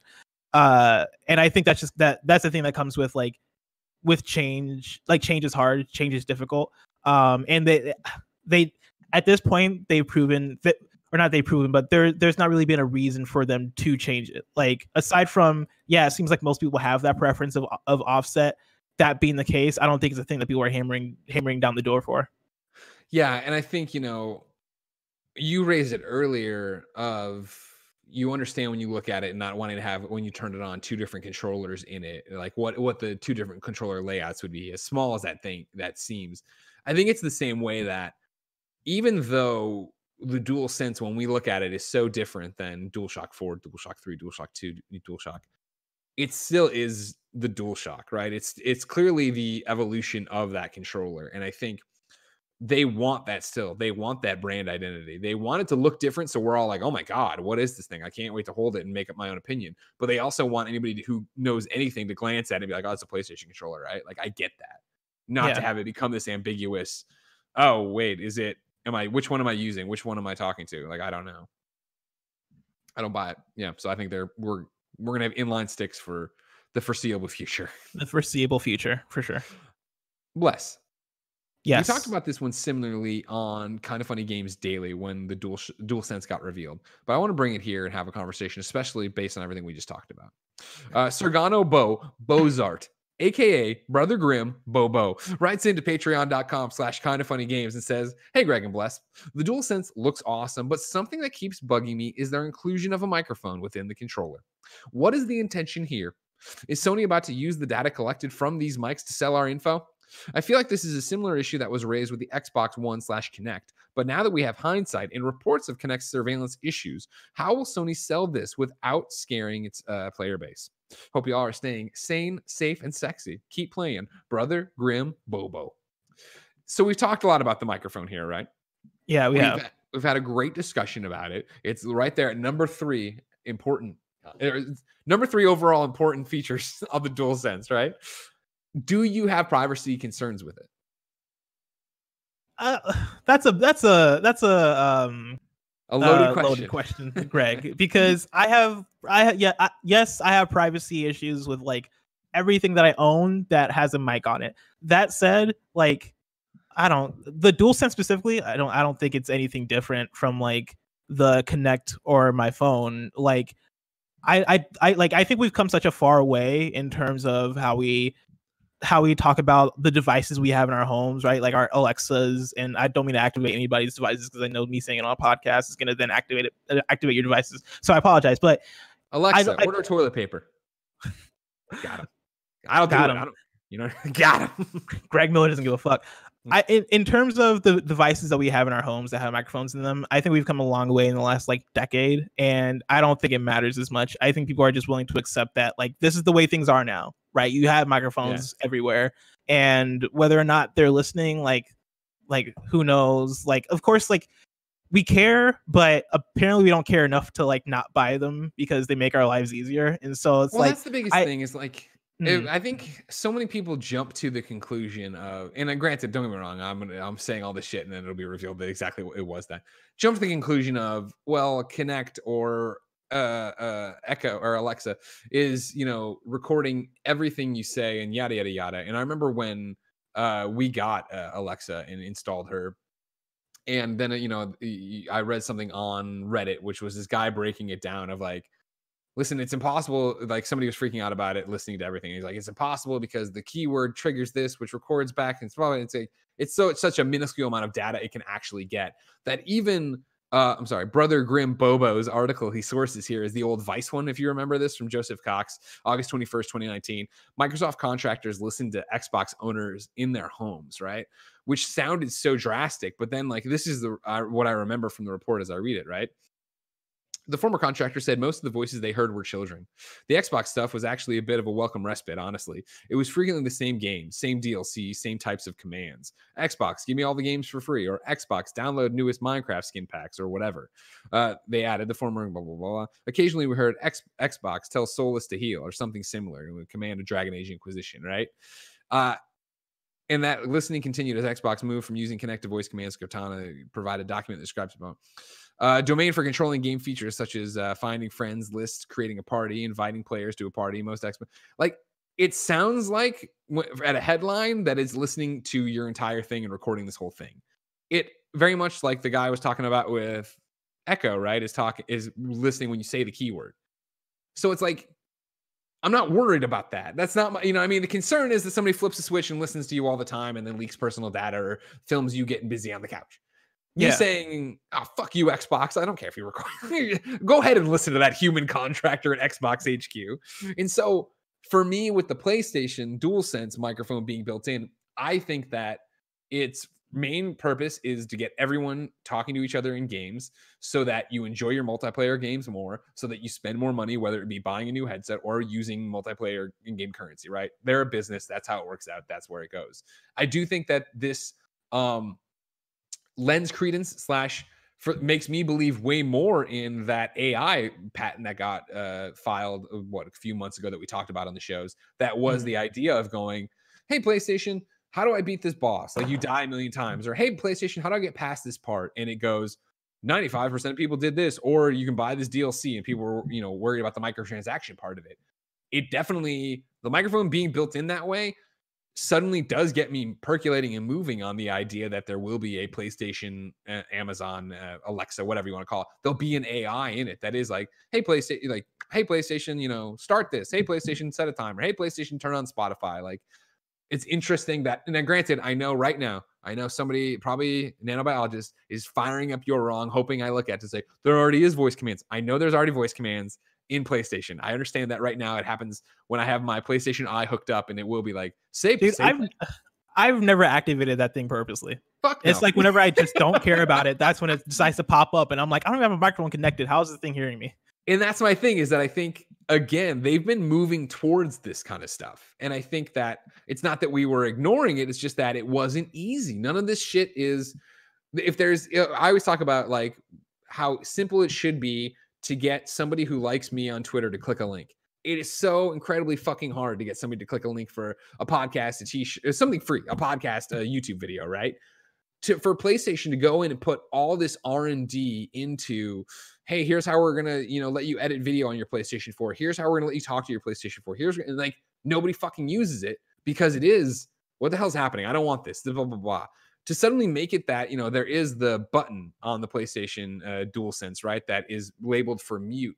Is it also going to be that I can double pu- uh, if it's unmuted, I can double punch the PlayStation button and immediately get connected to the AI to say, "Hey, start this thing," or "Hey, pause the movie." Because fuck, I'll tell you what, watching Back to the Future Blu-rays on my uh, PS4, where I only watch digital stuff on my PlayStation 4, I cannot fucking get over that it's 2020 and the goddamn buttons are still so fucking backwards to watch a movie. Where I'm hitting fucking triangle, trying, I'm getting pop-up menus, I'm doing, I'm like, just Oh. pause the fucking movie. I hit X. That's what it should be. No, it's circle here. All right, well, great, PlayStation. Thank you, you fuckers. Hmm. I'm saying that I don't Yeah. think the, I think the microphone is not built in for surveillance, but built in for probably For sure. making money. Oh yeah, for sure. And I, I'm I'm I'm with you. I'm also of the mind that like all all the microphones that are in our houses already, Right. like it's I I understand anybody who is like the this all this doesn't seem right. We're living in a totalitarian future. Like they're all watching us. I understand I understand that fear too, but I don't think there's any reason to be more skeptical of your PS4 controller than you are of your phone or anything else. Yeah, no, 100%. And that's the thing is if you already have Siri, you already have Alexa, you already have Google, you have all these different things like PlayStation, come on. They Yeah. barely get their shit together to buy a game. You think they're out there They give listening? you They God of. War. You think they care about what you're doing in the Now, see, private? that would be the thing. If I could be promised that Cory Barlog's the one listening to my messages, I, I, oh, I applaud him. I- I will say I do really like the idea of, and this is where the built-in microphone comes into place, right? I like the idea of double tapping the play, the PlayStation button and then having it be commands. That does sound cool to me, and I hope they do something along the lines of that. Yeah. Uh, final one here on the dual sense I want to get in is Rocket Guardian because we've had a lovely conversation about this. Plus, uh, wrote into kindafunny.com slash Patreon. It says, I loved the design of the new controller. However, I'm not so hot on the color scheme. If you had the chance to design and color a controller, what would your ideal design for the dual sense be? I mean, we've what do you had there have been so many mock-ups that people have done within the last week Yeah. that I think like plenty of them look incredible. And that's my thing is I really like the shape of the dual sense. Like that and I think that's the thing that's been vibing with me the more the more I see it. Like every time I look at the picture, I like I like the shape of it more and more. It's Yeah. the colors of it that kind of like throw me off. And really like if they did it all black, boom, I'd love it. If they do it like you know, I I, I think any other probably combination of colors could probably do it for me.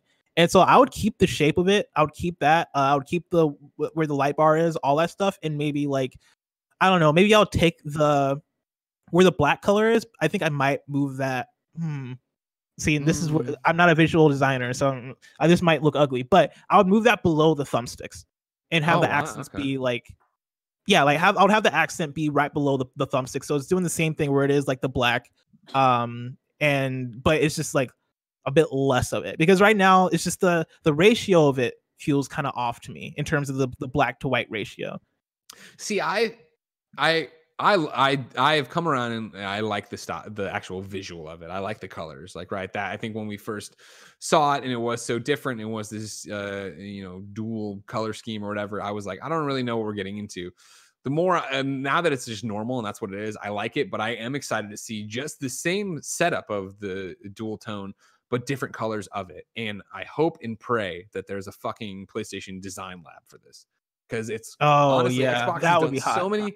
Xbox has done so many amazing gamers first thing. Don't get me wrong, uh, but I would just. I hope they go ham with this. If they don't give me the option to go in there and make my own controllers and my own colors, then please just put out a bunch of different colors. Because like this with the hot pink, like doing like the kind of funny pink and blue, right? The neon blue, the neon pink or whatever. I think if the, the white portion was all pink and then the blue was blue, fuck yeah. All black, fuck yeah. Uh, for Mizzou, black and gold, like you know, we've had so many different custom controller uh things pop up, whether it's like controller chaos or toasty stickers and doing decals and stuff. Like the create the creative nature of those things and like what you're talking about, all the mock-ups we've seen, like I would love to get the ability to actually make these from PlayStation just with primary colors, right? Matte finishes, shiny finishes, all these different things. Like that'd be so fucking cool.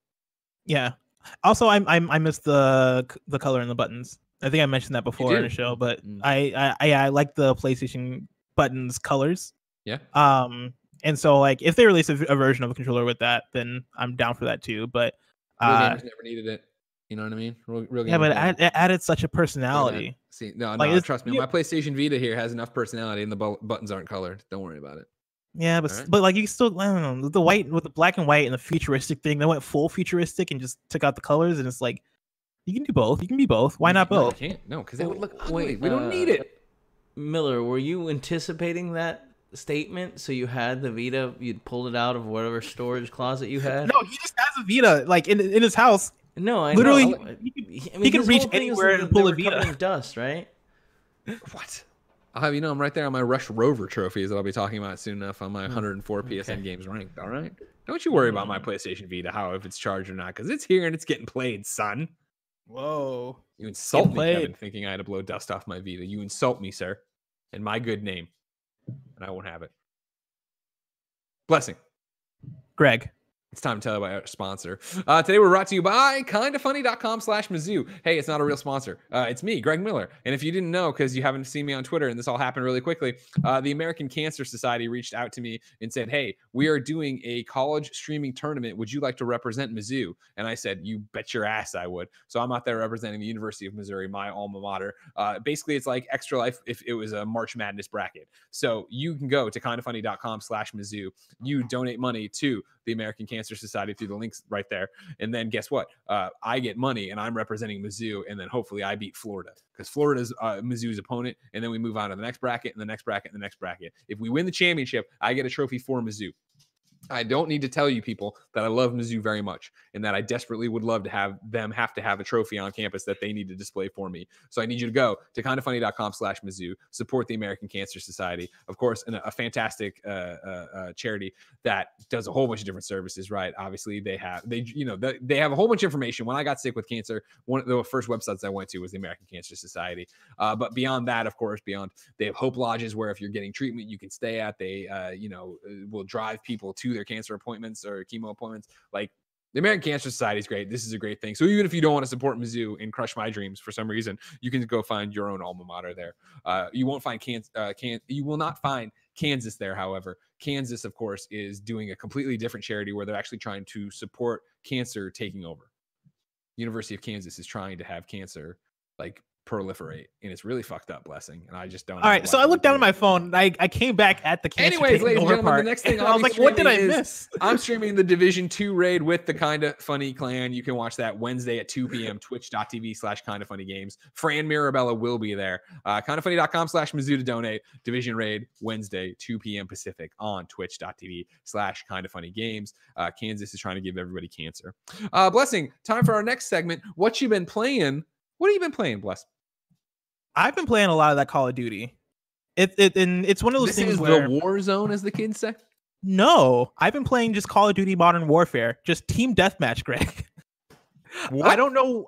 I don't. I don't know what happened. It and I. I think this is what I think it is. I've been playing a lot of Rainbow Six Siege, as I mentioned As mentioned in previous episodes, as one does.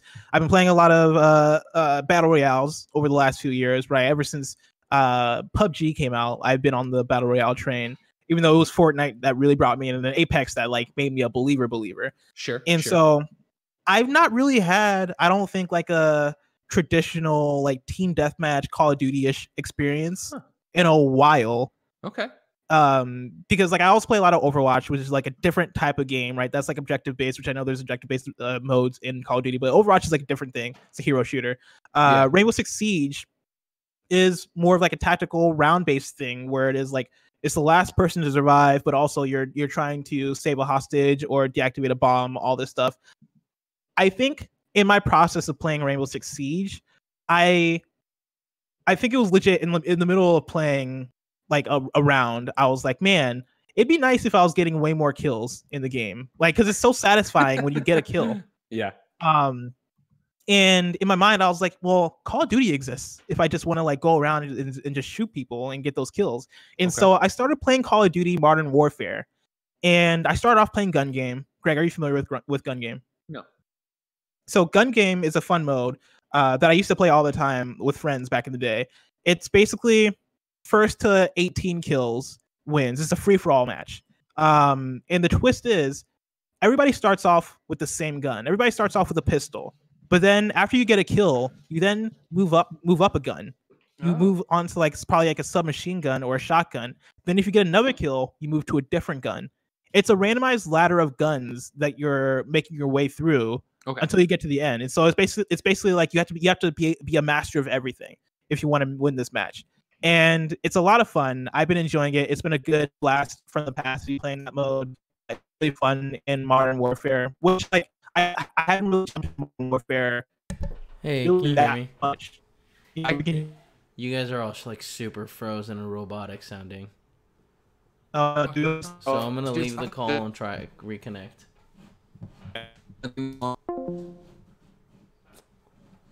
Uh, I think they did it too. Sorry, guys.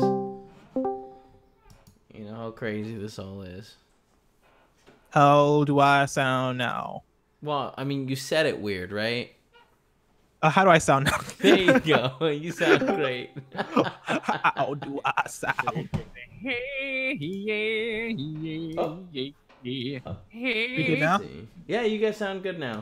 Everyone's. I'm just saying, as always, Kevin, I look great on my end.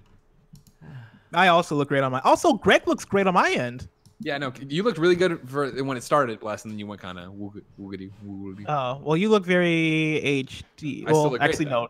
no, no. Now you're deteriorating. Maybe I'm gonna stop no. sharing my st- stream, my screen. Maybe Okay, that's okay, affecting it. let's I don't know. that. It's a time of Okay. experimenting. You know what I mean, guys? Bless, i- i- Oh, yeah. Are you down to experiment, bless? Let's experiment. I'm. I've always. I'm always down to experiment. All right, good. Uh, Kevin, are we? Are, can I keep going about Call of Duty? No, you have to move on to something else. we think that might be what sucked it down. That's what might have. yeah, no, go for it.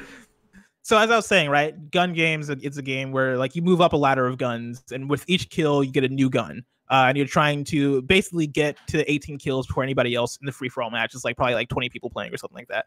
Uh, really fun. It's been a great blast from the from the past. Uh, I've been really really enjoying it, and this has been really like my first experience uh, with this new Call of Duty Modern Warfare game. Well, I call it new, but it came out in November or October, whenever Call of Duty's come out. Um, Yeah. But this this has been my first experience playing this Call of Duty game, um, and it's been my first experience playing a Call of Duty game probably since Black Ops Four or no Black Ops Three, and so it's been like probably like four four or five years since I've really like d- uh, dug a Call of Duty, and so I've been playing a lot of a lot of that. I've also been playing a, a mode called Gunfight, which is really fun. It's two v two. It's This one round by round. Okay, you played this one. I this one love I it. fucking love. Yeah, this one's great.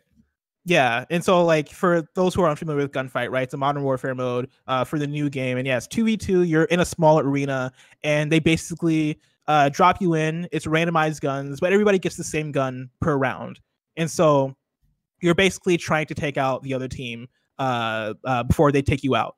Uh, really fun. Been been enjoying that a lot, and then I'm also playing some team deathmatch. Overall, like I was, I've, I. It's one of those things where I forgot how good Call of Duty can be like I mentioned earlier in the episode that you know there have been there have been people online that have been like you know being being the stereotypical like saying all the slurs, insulting Mhm, people, mhm. all that stuff, right? And it's been a while since I've gotten that experience in a game. Like I pl- I played a lot of Call of Duty in like high school and college, and I also play a lot of GTA Online, and so I figured that like I figured that I'd I'd, already experienced the worst of it, but somehow like the internet's changed. It won't be like that anymore. yeah, for some reason I was like, oh yeah, like because you have that in GTA Online, but for some reason in Call of Duty, it's just worse. It's just like all over the place, and I think it's because I'm playing like free for all games. Maybe that's what it is. But you know, overall, I've been I've been, I've been enjoying myself. I think I'm gonna keep playing it for now. It's been a good uh, it's been a good quarantine game for sure Yeah. because it's one of those things where I just turn my mind off and I just go, and it's been just fun to play. And so aside from that, uh, I've also been playing The Messenger. If you're wow. if you're Okay. unfamiliar, yeah, like uh, the messenger of course sabotage studio game came out in late 2018 i want to say uh ninja gaiden ninja gaiden ish game um basically it's a it's a 2d side scroller action game uh the hook of it is being that you can like trans you can time travel like the whole game kind of deals with time but you're time traveling from the past to the future and when you time travel the graphics also like try time travel with you and so you switch between 8-bit and 16-bit graphics um really fun game greg did you ever play the messenger 'Cause I know you're. I know Portillo's in it, right? Is he in that one? Isn't he? Isn't there like a, a DLC? No, you're thinking of Guacamelee too. I'm thinking of Guacamelee. You're right. Yeah, yeah, but you're right that uh, full disclosure, Pop Agenda represented the messenger when it came out. Um, no, I never did. I it, it was one of those I started, and I don't have that affinity for Ninja Gaiden NES or whatever. So like, it wasn't like I didn't have that nostalgia to go back to it or whatever. And so I played it for like a little bit on a flight for a couple hours, and it's like totally get why people dig it, not my thing. And I think Tim had already Mhm. beaten at that point, and he was like, when it gets to the twist, it still wasn't. I wish it got there faster. I I forget what its exact review was on it, and it was Yeah. just like. I'm glad people enjoy this. I'm good. That's my thing too. Is that there is like a twist, and it's a twist that is like it's not really a twist because they put it in the trailers, like the fact that you're time traveling. But then Yeah. also like even making my way up to the twist, it was one of those things where I was like, well, I know this game isn't done yet because I'm only three hours in. And then also there's a shopkeeper that you talk to all the time, and the shopkeeper alludes to it, and you're like, I know what's going on here. Um, but that said, like I'm I'm enjoying myself with it. Uh, the the writing is surprisingly good. I didn't I didn't hear people talk much about the writing of the game when it came out, but I found that uh, I've been really enjoying how well written it is. Like there's a shopkeeper character that you you talk to all the time because at at like half of the checkpoints you can essentially go into the shop and then do your upgrades, do all that stuff. But then there's a chat option, and the shop the shopkeeper will tell you stories. He'll like tell you about the area you're in. You'll tell you he'll tell you about the boss and all that stuff. He's where you get pretty much all the lore from in the game, and he's really well well written. He's really funny. Um, has like really good quotes. I've really been enjoying that aspect of the game. Um, the one thing I will say is that I've not really been loving the boss battles. There's like quite a few of them. I feel like every other level you'll get a boss battle, and it's that thing where with boss battles, I think if you're if you're gonna do a thing where you have multiple phases, usually switching up the the attacks that the boss does, or like having some some kind of fresh approach for the boss, like kind of keeps things keeps things going, keeps things fresh, and keeps things interesting.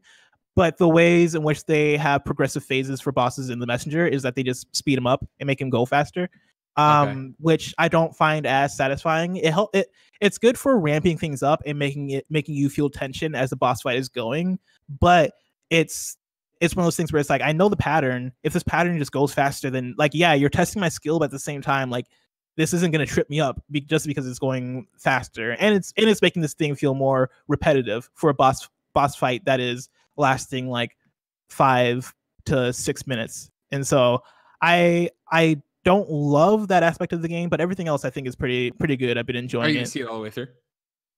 we'll see. Like it's Yeah. definitely one of those ones where I'm playing it because of Sea of Stars, I believe is called, which is their upcoming RPG um that is meant to look like Chrono Trigger. I watched the trailer for that, thought that looked fantastic.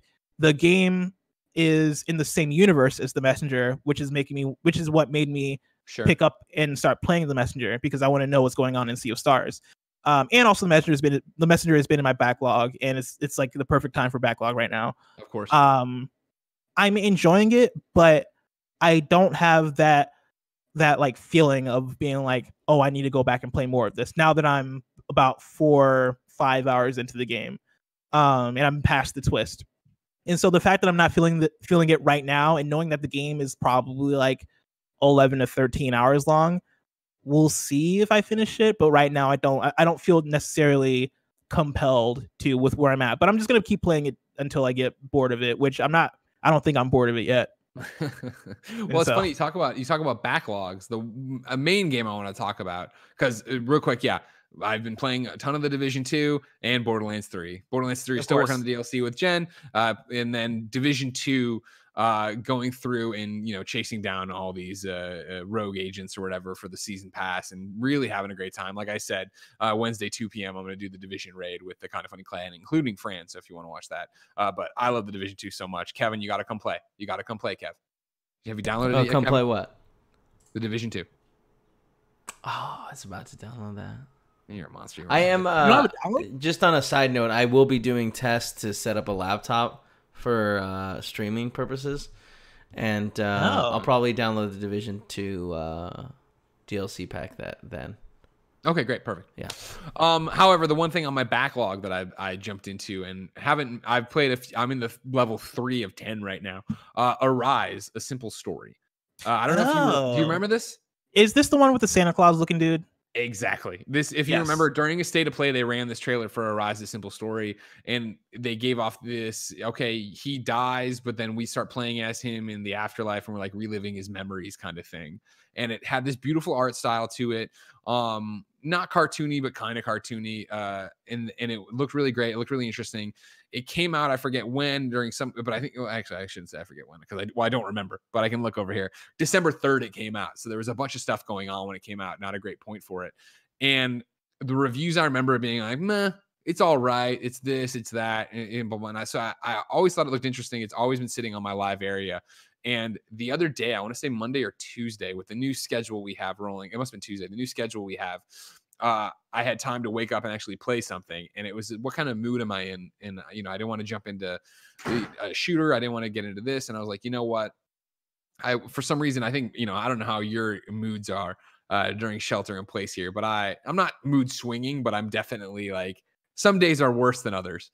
And so I was like, feel you know what? This Arise, a simple story seems like something that would fit right now.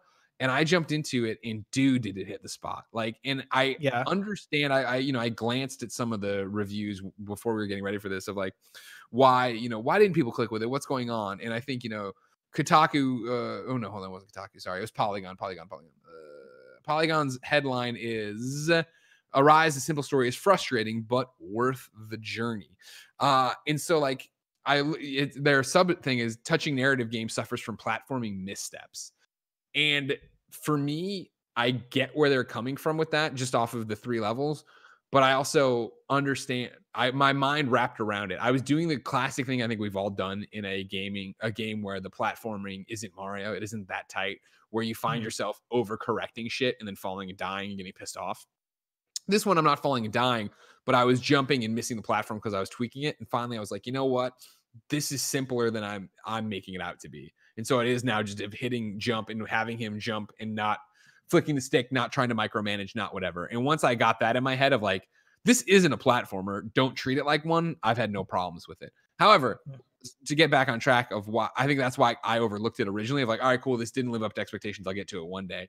Right now, like like I said, you start with yourself dying. You wake up in on this mount and you start reliving your memories. And it's clearly telling me the story of how I fell in love. Like I can see where this is. I, I I'm already on the path of where this is going. So I assume eventually my wife's going to die here. My heart's going to be broken. I'm going to be crying on the couch. But what they do with it is as they're telling you this story that you can steamroll through or go find the hidden memories around the way that all are just uh drawings of the characters interacting and like fleshing out the story you're already getting that I love. Like so many you talk about the share button. So many of these drawings I've screenshotted because I want to use them as backgrounds or just have them because I think they're so beautiful and so cute. Um the level and the gameplay itself is actually revolving around like uh rewinding and fast forwarding time. And so like you'll like, you know very early on in the game, right? You're like you start off on the first level and you need to, you know, it's a snowy environment, but you fast forward and it becomes spring and all the snow melts, so the water level rises.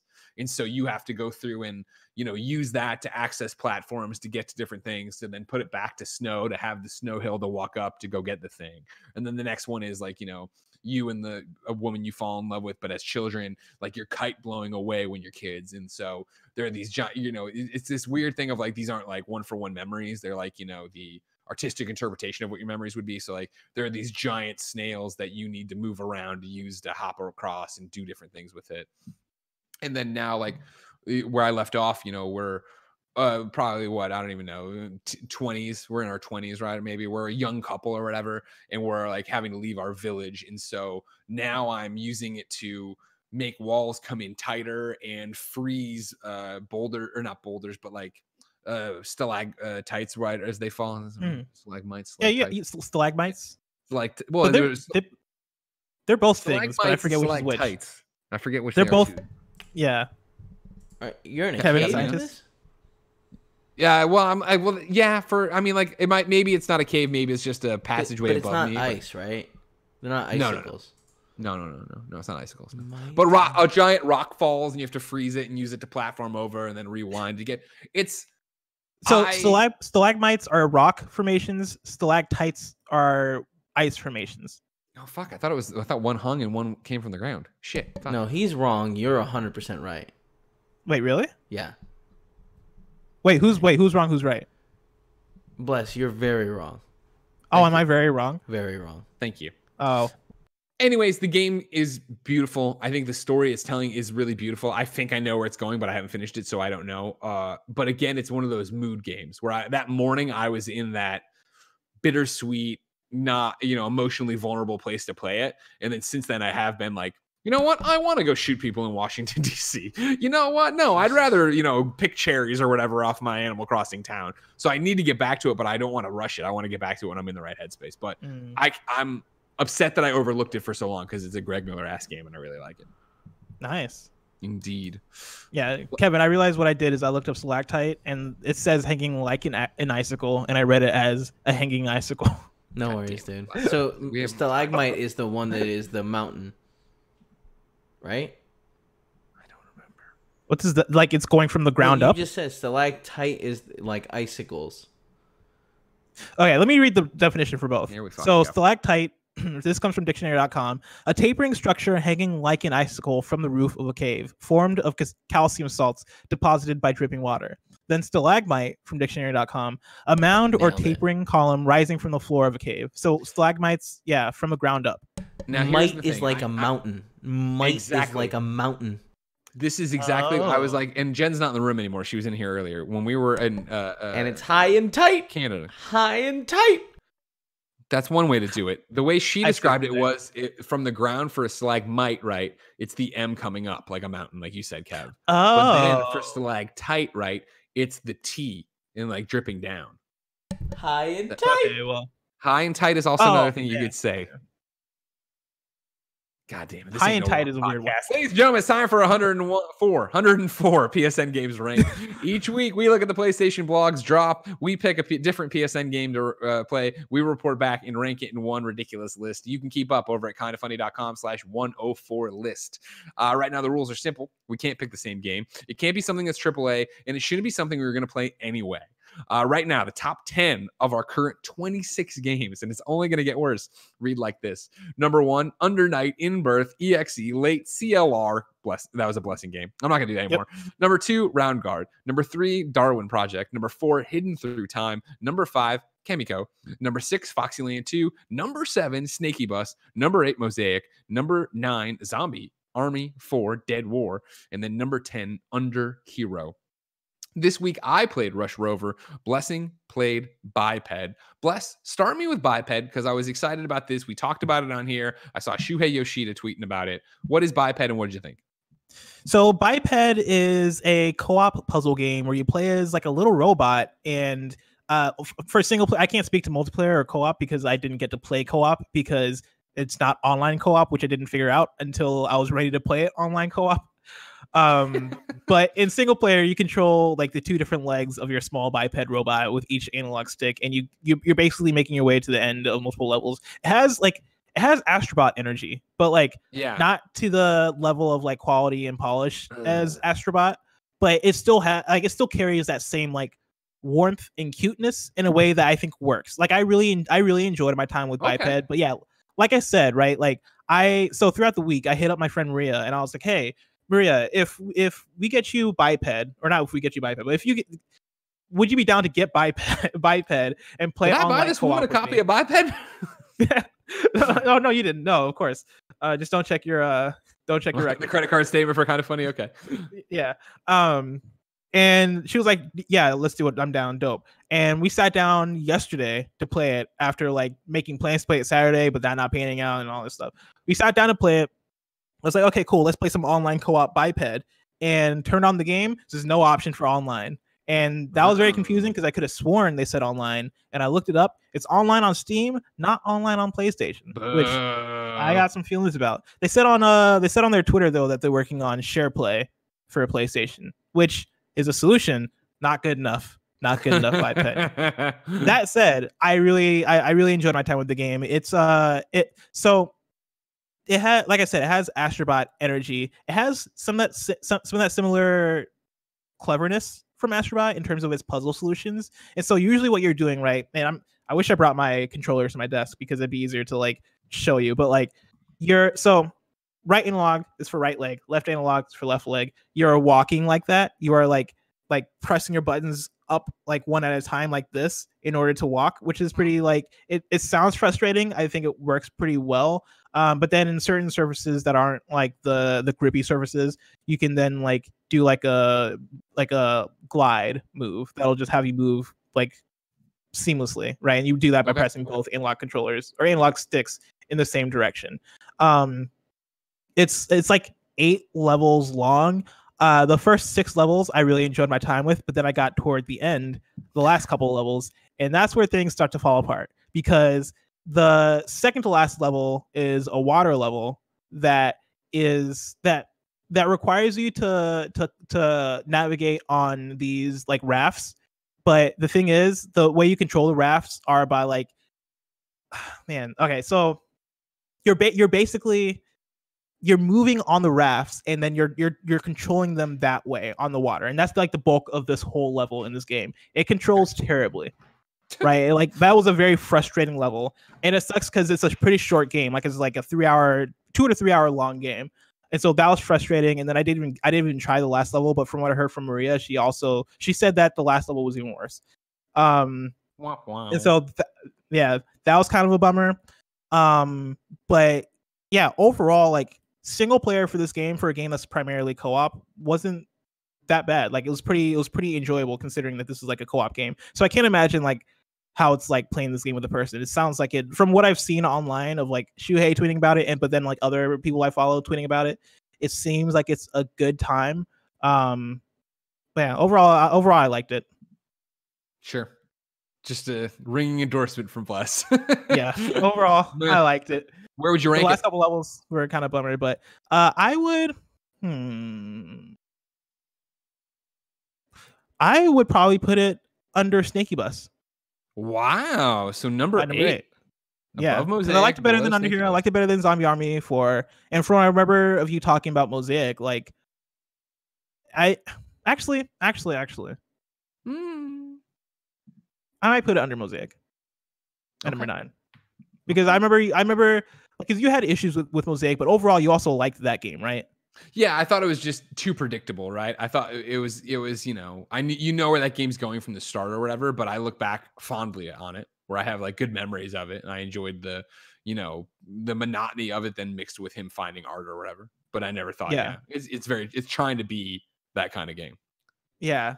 And also like the things the things that I liked about Biped specifically were how clever the puzzles were. Like each of the levels are themed like a platformer game, but then like for example, one of the one of the levels had it so that you are you in order to progress, you have to have a certain number of of feet on a platform and you can like then take other biped robots, put them on platforms, take them off platforms, and you kind of have to like do a balancing. Like the game is very clever in terms of how it's des- designed, but I at the at the end of the day, even though I I, I enjoyed it, I think it could have done a bit more to make that whole experience a bit better. Gotcha. Uh, So mine was nine. Rush Rover. I want it on the record that I when I picked it last week blind. I did not know it was a Ratalaika game. This was not a Greg Miller. I'm gonna get a bunch of easy trophies things, even though the trophies are embarrassingly easy on this one. So don't sweat it and don't have a problem with it.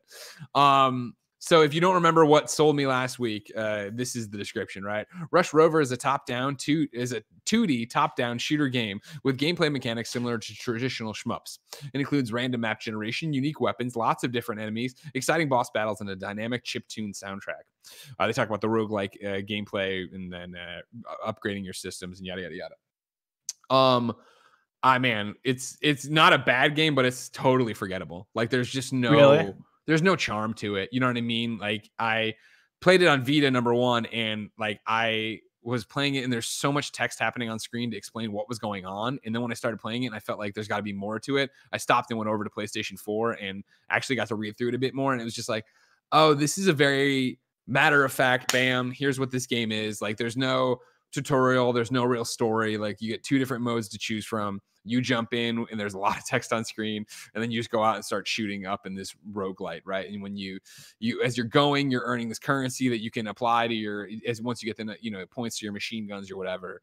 Uh, but it's it's not again not bad. I'm not trying to say it's a bad game, but I find it like wholly uninspired. Like it was that thing where I did, you know, I did two or three runs on Vita, maybe three or f- probably three on PlayStation 4.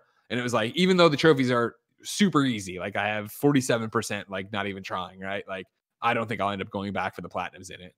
It's just like, all right, like there's this is the one, like there's not even this is what I'm talking about these Ratalaika ones, right? Where there's like they have good games, they have bad games, they have all sorts of games, but they put easy trophies on everything. So something like Foxyland 2, which I think is a you know, we've talked about it multiple times here, is a very competent and fun platformer. Then you have this was just like, okay, this is just walking around and shooting. And like it's funny because for our list purposes, right? It compares so directly to it came from space and ate our brains, which is another, you know, running around, running gun, twin stick shooter, shoot everything. Because that's how this controls too, twin sticks. Um, I would play it came from space and ate our brains every time over this one. Hmm. Where at least in, it came from space, like I thought there was a lot of colors, there were varied enemies. Like I was sh- switching up my weapons quicker, I was upgrading them faster, I was more engaged with it. Whereas this one, it was like I didn't want to die, but then I would die, and I wasn't upset, and I didn't want to play restart again. So for you, bless it. I, I know this is rough. You didn't play this one, but for me, it's below. It came from space, and I ate our brains. I think it is.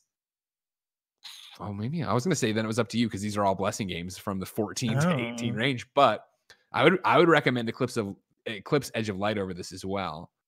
So now I'm starting to fall down the list of where I'd actually put it. Right. Hmm. Wow. I, have stumped myself now. Um. Yeah, I would recommend Katana Kami at number 22 over this as well. So I guess I'm going to put it. Oh, Number, wow. I would put it number 23 above Moons of Wow. Madness. Uh, and below. So yeah, number 22 is Katana Kami. Number 23, Rush Rover. Number 24, Moons of Madness. Wow, new I a new 23. You hate to see it. You You hate, hate, to, to it. see it. Wow. Uh, bless, it's time to pick next week's games we'll play. Of course, we're reading from the drop on the PlayStation blog where our friend Justin uh, wrote it up. And let me tell you, it's going to be an interesting week. Uh, AFL Evolution 2 is here for PlayStation 4. I thought we already talked about this, but it's the the it's a true reflection of the modern AFL game, which I think is the Australian Football League. Kind of looks like uh, rugby. Oh yeah, we did talk. Did we talk I about this. on? Oh, did we talk about this on uh KFGD? I mean, we d- I've definitely seen this box art, and I only look at the box art on this show. So I think maybe this game Oh. was supposed to have come out. Maybe AFL Revolution One came out last week. Maybe it's one of those I'm weird things. pretty sure we saw this last week. Oh, right? Uh, up next is Blind Men. This is PlayStation 4 and PlayStation Vita. Uh, can Keegan make a name for himself, or will he fall victim to the charms of his enemy? As the nephew of a, ret- a retired supervillain, uh, there's nothing Keegan wants more than to become one himself. And what better way than to join the League of Evil? All he needs to do is commit cr- a crime to complete his application. Okay.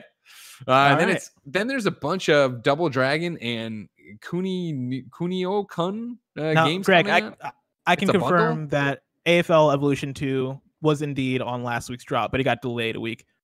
Because I Okay. opened up I opened up last week's drop and it just has it just has a cross out of, of like the, the date, April 9th, and then it says April 16th. Oh, okay. Well, Yeah.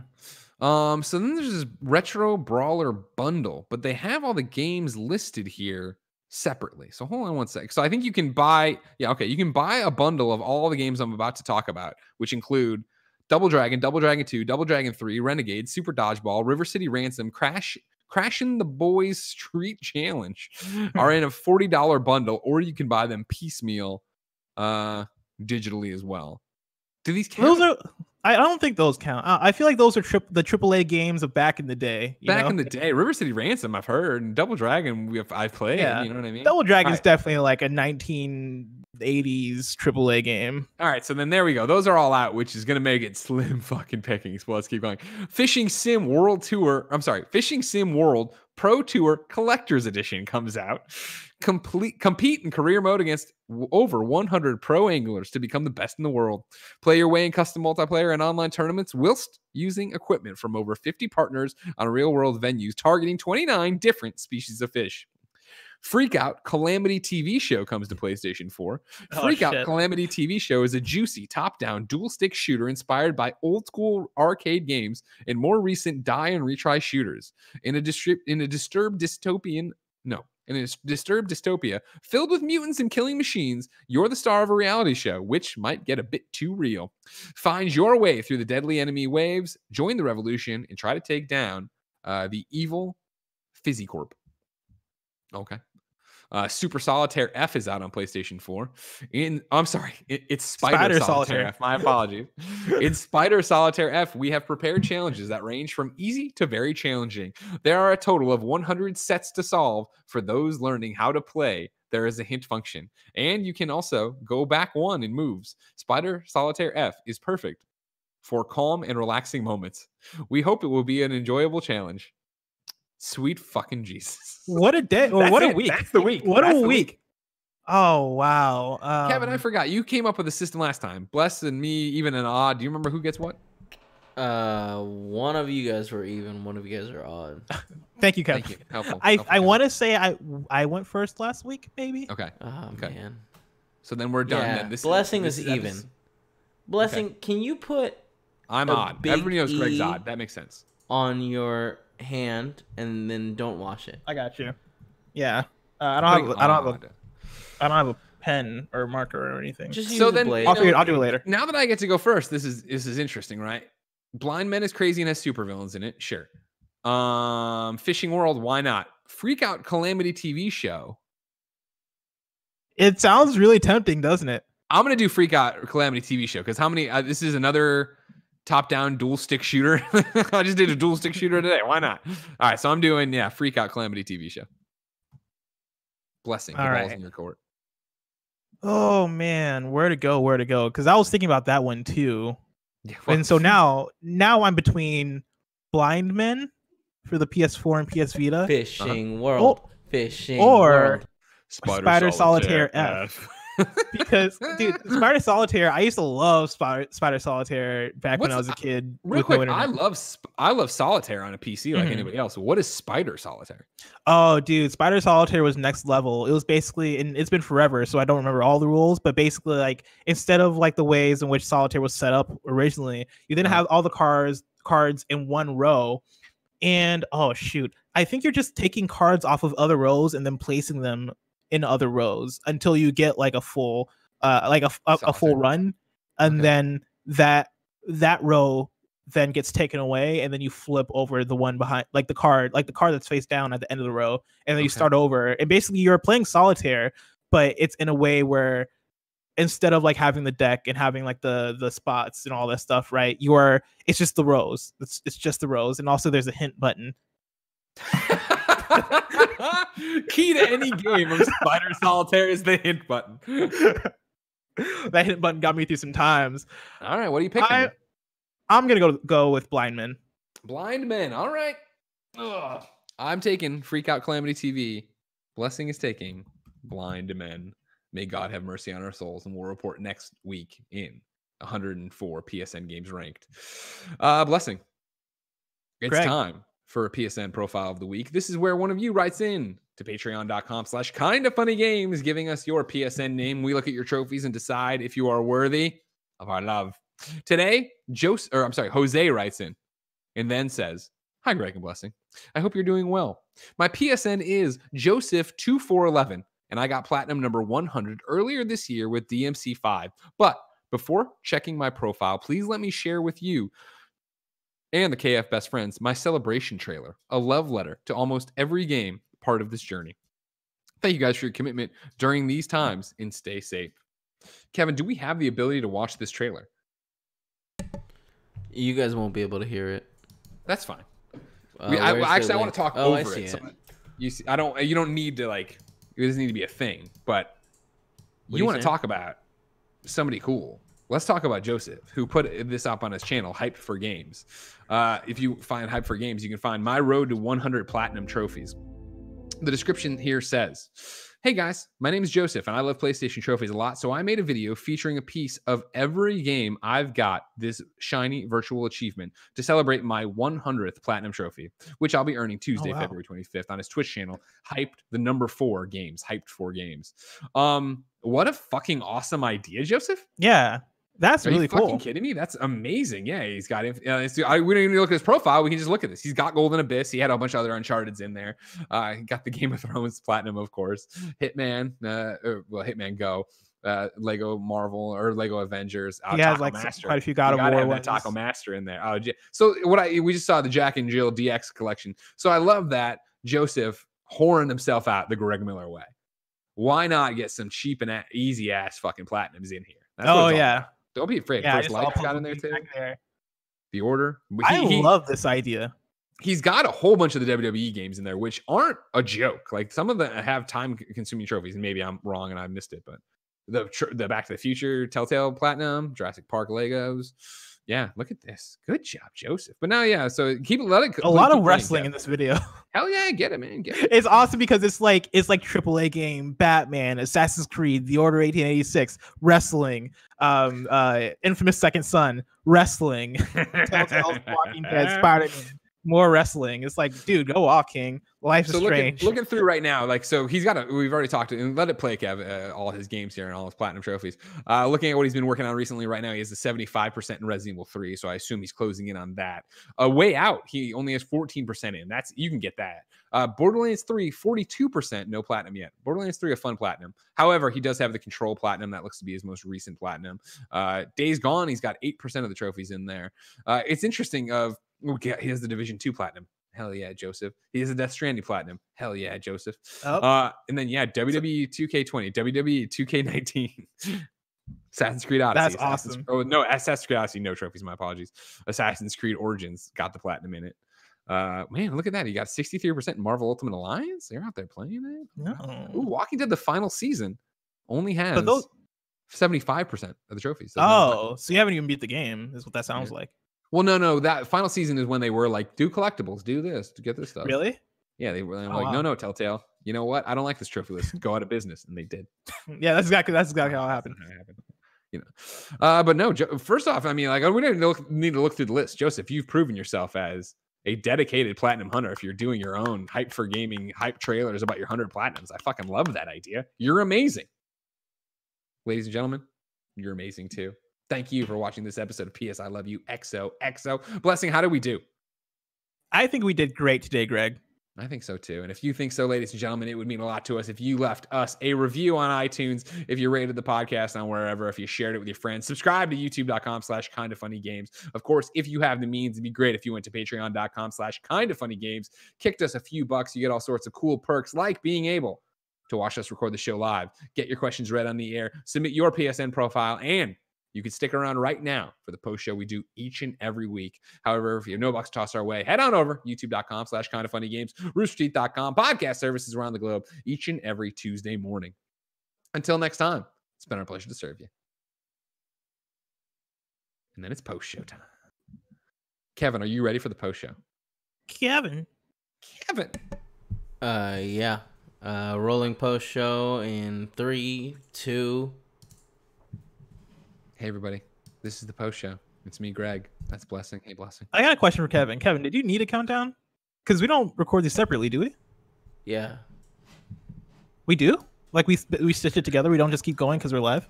Um. n- He well, cut. It means he cut. I no, I did cut, but I can't remember if I'm being honest which one I'm supposed to do. Oh, So, You're gotcha. I think you, yeah, it doesn't matter. because this won't be on the full show, and the stream itself will be the live version, the Patreon version. Right, so I right, think right, this right. just makes it a little easier for Cool Greg. Gotcha. That makes sense. Mm, I like where because you're he's gonna edit it anyway, right? Oh, Right. But it's, it's whatever. yeah, but like he'll have to clip that out. Technically, he doesn't have to edit it. Now it's it's all that- done for the non. For the regular. Oh, yeah, 'cause we did that- we did Ronan writes into patreon.com slash kind of funny games and says, Hey Greg, or hey guys, actually, do you think there's any particular reason why Sony has yet to show what the PlayStation 5 actually looks like? Just seems strange to have had articles and reveals, yet still we're living in 2013 where we know everything about Sony's console but the box itself. Honestly, I'm surprised to get a controller reveal without seeing the box. Thanks, Malcontent Ronan. Are you surprised, Wes, that we have not seen the PlayStation 5 in the flesh? No, not at all. Like I, I isn't this the way they did it 2013? Like we, we Well, got the controller. At, oh, that's to say that, that it seemed that it feels like that again. Yeah, like Yeah, it's like- 2020, and it shouldn't things be different? And I think honestly, no. I think what happens is Xbox deserves more credit for doing things different. Yeah, I, I think what it is for PlayStation, if I had to imagine, is that they want the pop. They want like the that big splash when they do reveal it at Yeah. the event. And I, I think If- I think that'll be be an the thing. It or the stream, whatever it is. Like when they're ready to do the whole big reveal of the PS5, right? I think the way you want to do it is you want to have it be so that you are you are talking about the games, talking about the features, and Mhm. then at the end you reveal the box and then you reveal the price, and and that's like all having all that information kind of kind of packaged together and delivered in in in that way. I think allows for a a more controlled message and like a more controlled like hype train, if you will. Uh, Yeah, I. I I think on the Xbox side, the way that Microsoft is doing it is also pretty interesting because yeah, we got the box in December, which is historically I think fairly early in terms of revealing a box. Um Yeah, no, totally, and unexpected. Yeah. like we didn't. That wasn't unexpected a leak coming into Game Inform or uh, Game Inform coming into Game Awards. Game Awards. Yeah, and it's one of those things where like that I think that's played into my prediction that I don't know if I still have or not. I'm still trying to like figure this out, but into I, I had the prediction that there's going to be the second Xbox console that'll be revealed at E3, right? And it'll be the Xbox One S to accompany the one one uh, or Xbox Series S to accompany the the Series X.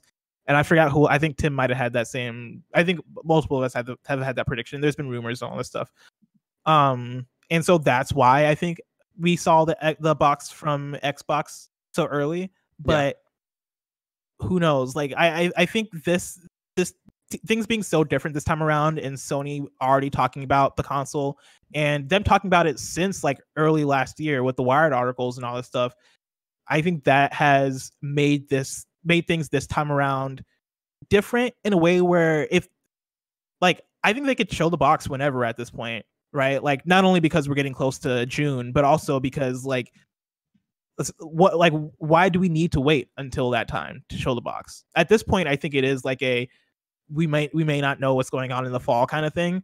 But even then, like I don't know, like it, it can happen whenever. Like I don't think I don't think they're on they're on like some sort of timer to show the box.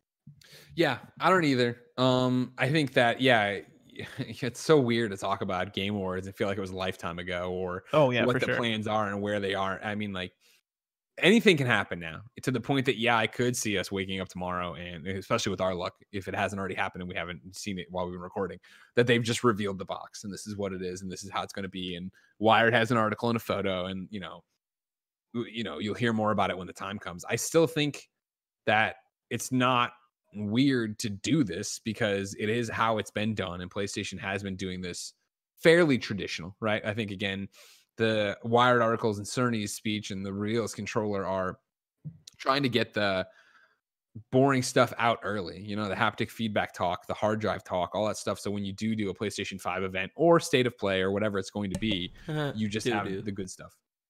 You say, what is that about doo doo? When you do do, you know. Did you say that or Kevin though? Right? It was Kevin because I heard him. No, Kevin said that, but he was talking about what you were saying. Yeah, of course. Kevin's a child. Of course. Oh, we all we've been new. We all knew this. I know. Uh, Snakeybus is number one. Wrote into patreon.com slash kind of funny this week and said, How soon after the announcement of PlayStation 5 do you think we start hearing about PlayStation VR 2? Or do we even expect PlayStation VR 2 to be coming anytime soon? Much love. Hashtag Snakeybus is number one on top 104. It's awesome that like the developer of Snakeybus listens to the show. That's really cool. I know, right? Who would have thought that Snakeybus developers listen to and that they're a patron. Uh, um, probably like a year, I imagine.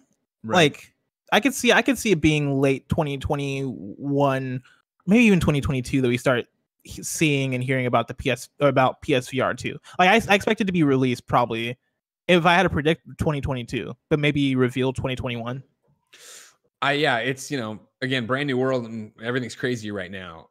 I would think that at the earliest you hear about it holiday 2021, but that doesn't make much sense. Maybe you get a tease of it at holiday 2021 at the Game Awards, but then I would think you do very similar to what you did with it the first time around and do something at GDC 2022, so March, you know, springtime. However, that's based on everything bounces back and everything's normal, right? Like I had said on Gamescast when we sat down and did next gen predictions, one of my predictions was, and it broke my heart to say it, was there won't be a PSVR 2. And at the time, my prediction was based on the fact of I needed a prediction. And Mhm. I think that at the, the launch of PlayStation 5, at the eh, concept of PlayStation 5, and where we were when we did that prediction episode, PlayStation had all the uh, heart's mind goodwill of yes we are going to do a playstation vr 2 but i was like i think that the vision will change by the time we get there based on how the playstation 5 does what they see as a success so on and so forth and so to have said that in what i don't know beginning of january and now be here where we're like is the playstation 5 happening this year isn't it blah blah blah like they're delaying games indefinitely i think as that starts to slide the fu- future projects start to slide too and that that development gets thrown off. And so right now, if everything was going right, I would have told you probably 2022, right? Spring, you see something from PlayStation VR 2. But if everything's in free fall and being moved around and they don't know how the PlayStation 5 is going to launch, and let's say they do launch the PlayStation 5 this holiday, they don't have a stellar launch lineup because of delays. They don't have as much product for PlayStation 5.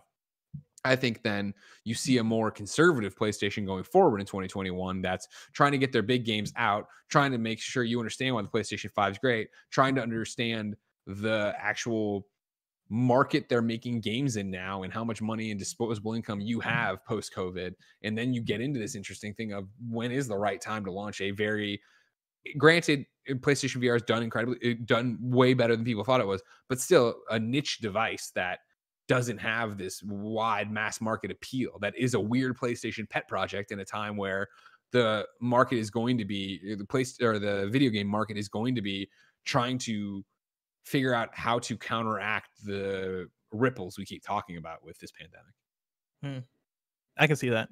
You could see it. I can see that. I'm ho- I'm really laid it out hoping perfectly. You did you did lay it out perfectly. I'm actually very excited for what PSVR 2 might entail. Like Totally. like what improvements ha- like what what have they learned from PSVR 1 like being the first thing but then also like do you bring out even bigger bangers in terms of games for PSVR and 2 and what do, what do those games look like like are we getting Blood and Truth 2 and Astrobot 2 or are we are we getting like like I don't know man like a Spider-Man VR game that is tailor-made or like I guess Iron Man VR is kind of the what Yeah. that would kind of be Are we Uh, Spider Man? no. Oh wait, hold on. That exists. and Yeah, it's actually yeah, that pretty much sometime. exists. Uh, but like, are we like God of War VR or something along like what? Because if, if if they do PSVR too, I feel I think that like signifies that they're way more like they're diving deeper into like the the committal to it, like being all about VR because they've uh, they've been like committed to VR. You know, I'm not I'm not really I'm not not really had a complaint about PlayStation and how uh they've treated VR so far. Like they, they've done a good job of making sure games are coming out consistently and, and that we're getting 100%. all, this, all that stuff. Yeah. But I'm curious and if they if they if they take the next step into PSVR two, what does that next step also look like in terms of games? And do they commit harder in making bigger and better games for it? Yeah, I, I'm gonna be fascinated because again, I do think they launched with the best intentions, and it, it those initial launch numbers obviously superseded what they wanted or thought, and so then since then, I won't. It's not that the market's cooled, but VR isn't this runaway success, and it isn't this like juggernaut you can't ignore. PlayStation could easily ignore it and move away. You know, did or does Half-Life: Alyx inspire enough people to be making more cool VR games? Are there more deals and more things like Iron Man VR that are up their sleeve? You know, is it the even the form factor of a PlayStation VR 2 that I want to be wireless, but I know would be so tough? Even if it was, it doesn't need the camera. That's all built in. It's looking down at my controller in my hand for better thing, better positioning, and I had a wire running off of it. Like these are all things that are super enticing and super cool. But I say all this knowing in the same vein, as much as I love my PlayStation VR, I have the folder on my PlayStation 4 that's VR games, right? And I keep adding stuff to it, but I haven't turned it on in a while. Like there's mm. stuff I want to do, but it's that thing of like, ugh, do I really want to? Like move the coffee table and put on the headset and do the I'm you know the pro the, I don't have the pro or I don't have the VR box that has the pro pass through so it's like I have to disconnect things and reconnect things and it's just like I love this I love that device but it's not for me an everyday device it's very much I have to be in that mood Yeah, for sure. By the way, I just got a, a tweet uh, from at trip ttyk on Twitter that Uh-huh. says a stalactite hangs tight from the ceiling. I think my T thing makes as much High sense and as that. tight. High and tight. Thank you, Kevin. Ladies and gentlemen, Thanks, Kevin. this has been your post show for PS I Love You XOXO episode 15. Thank you for your support on Patreon. Tell your mom and your dad to do it. Your little sister, don't. We don't want her. All right. Tell her to stay away. All right. All right. Thank you. Until next time, we love you.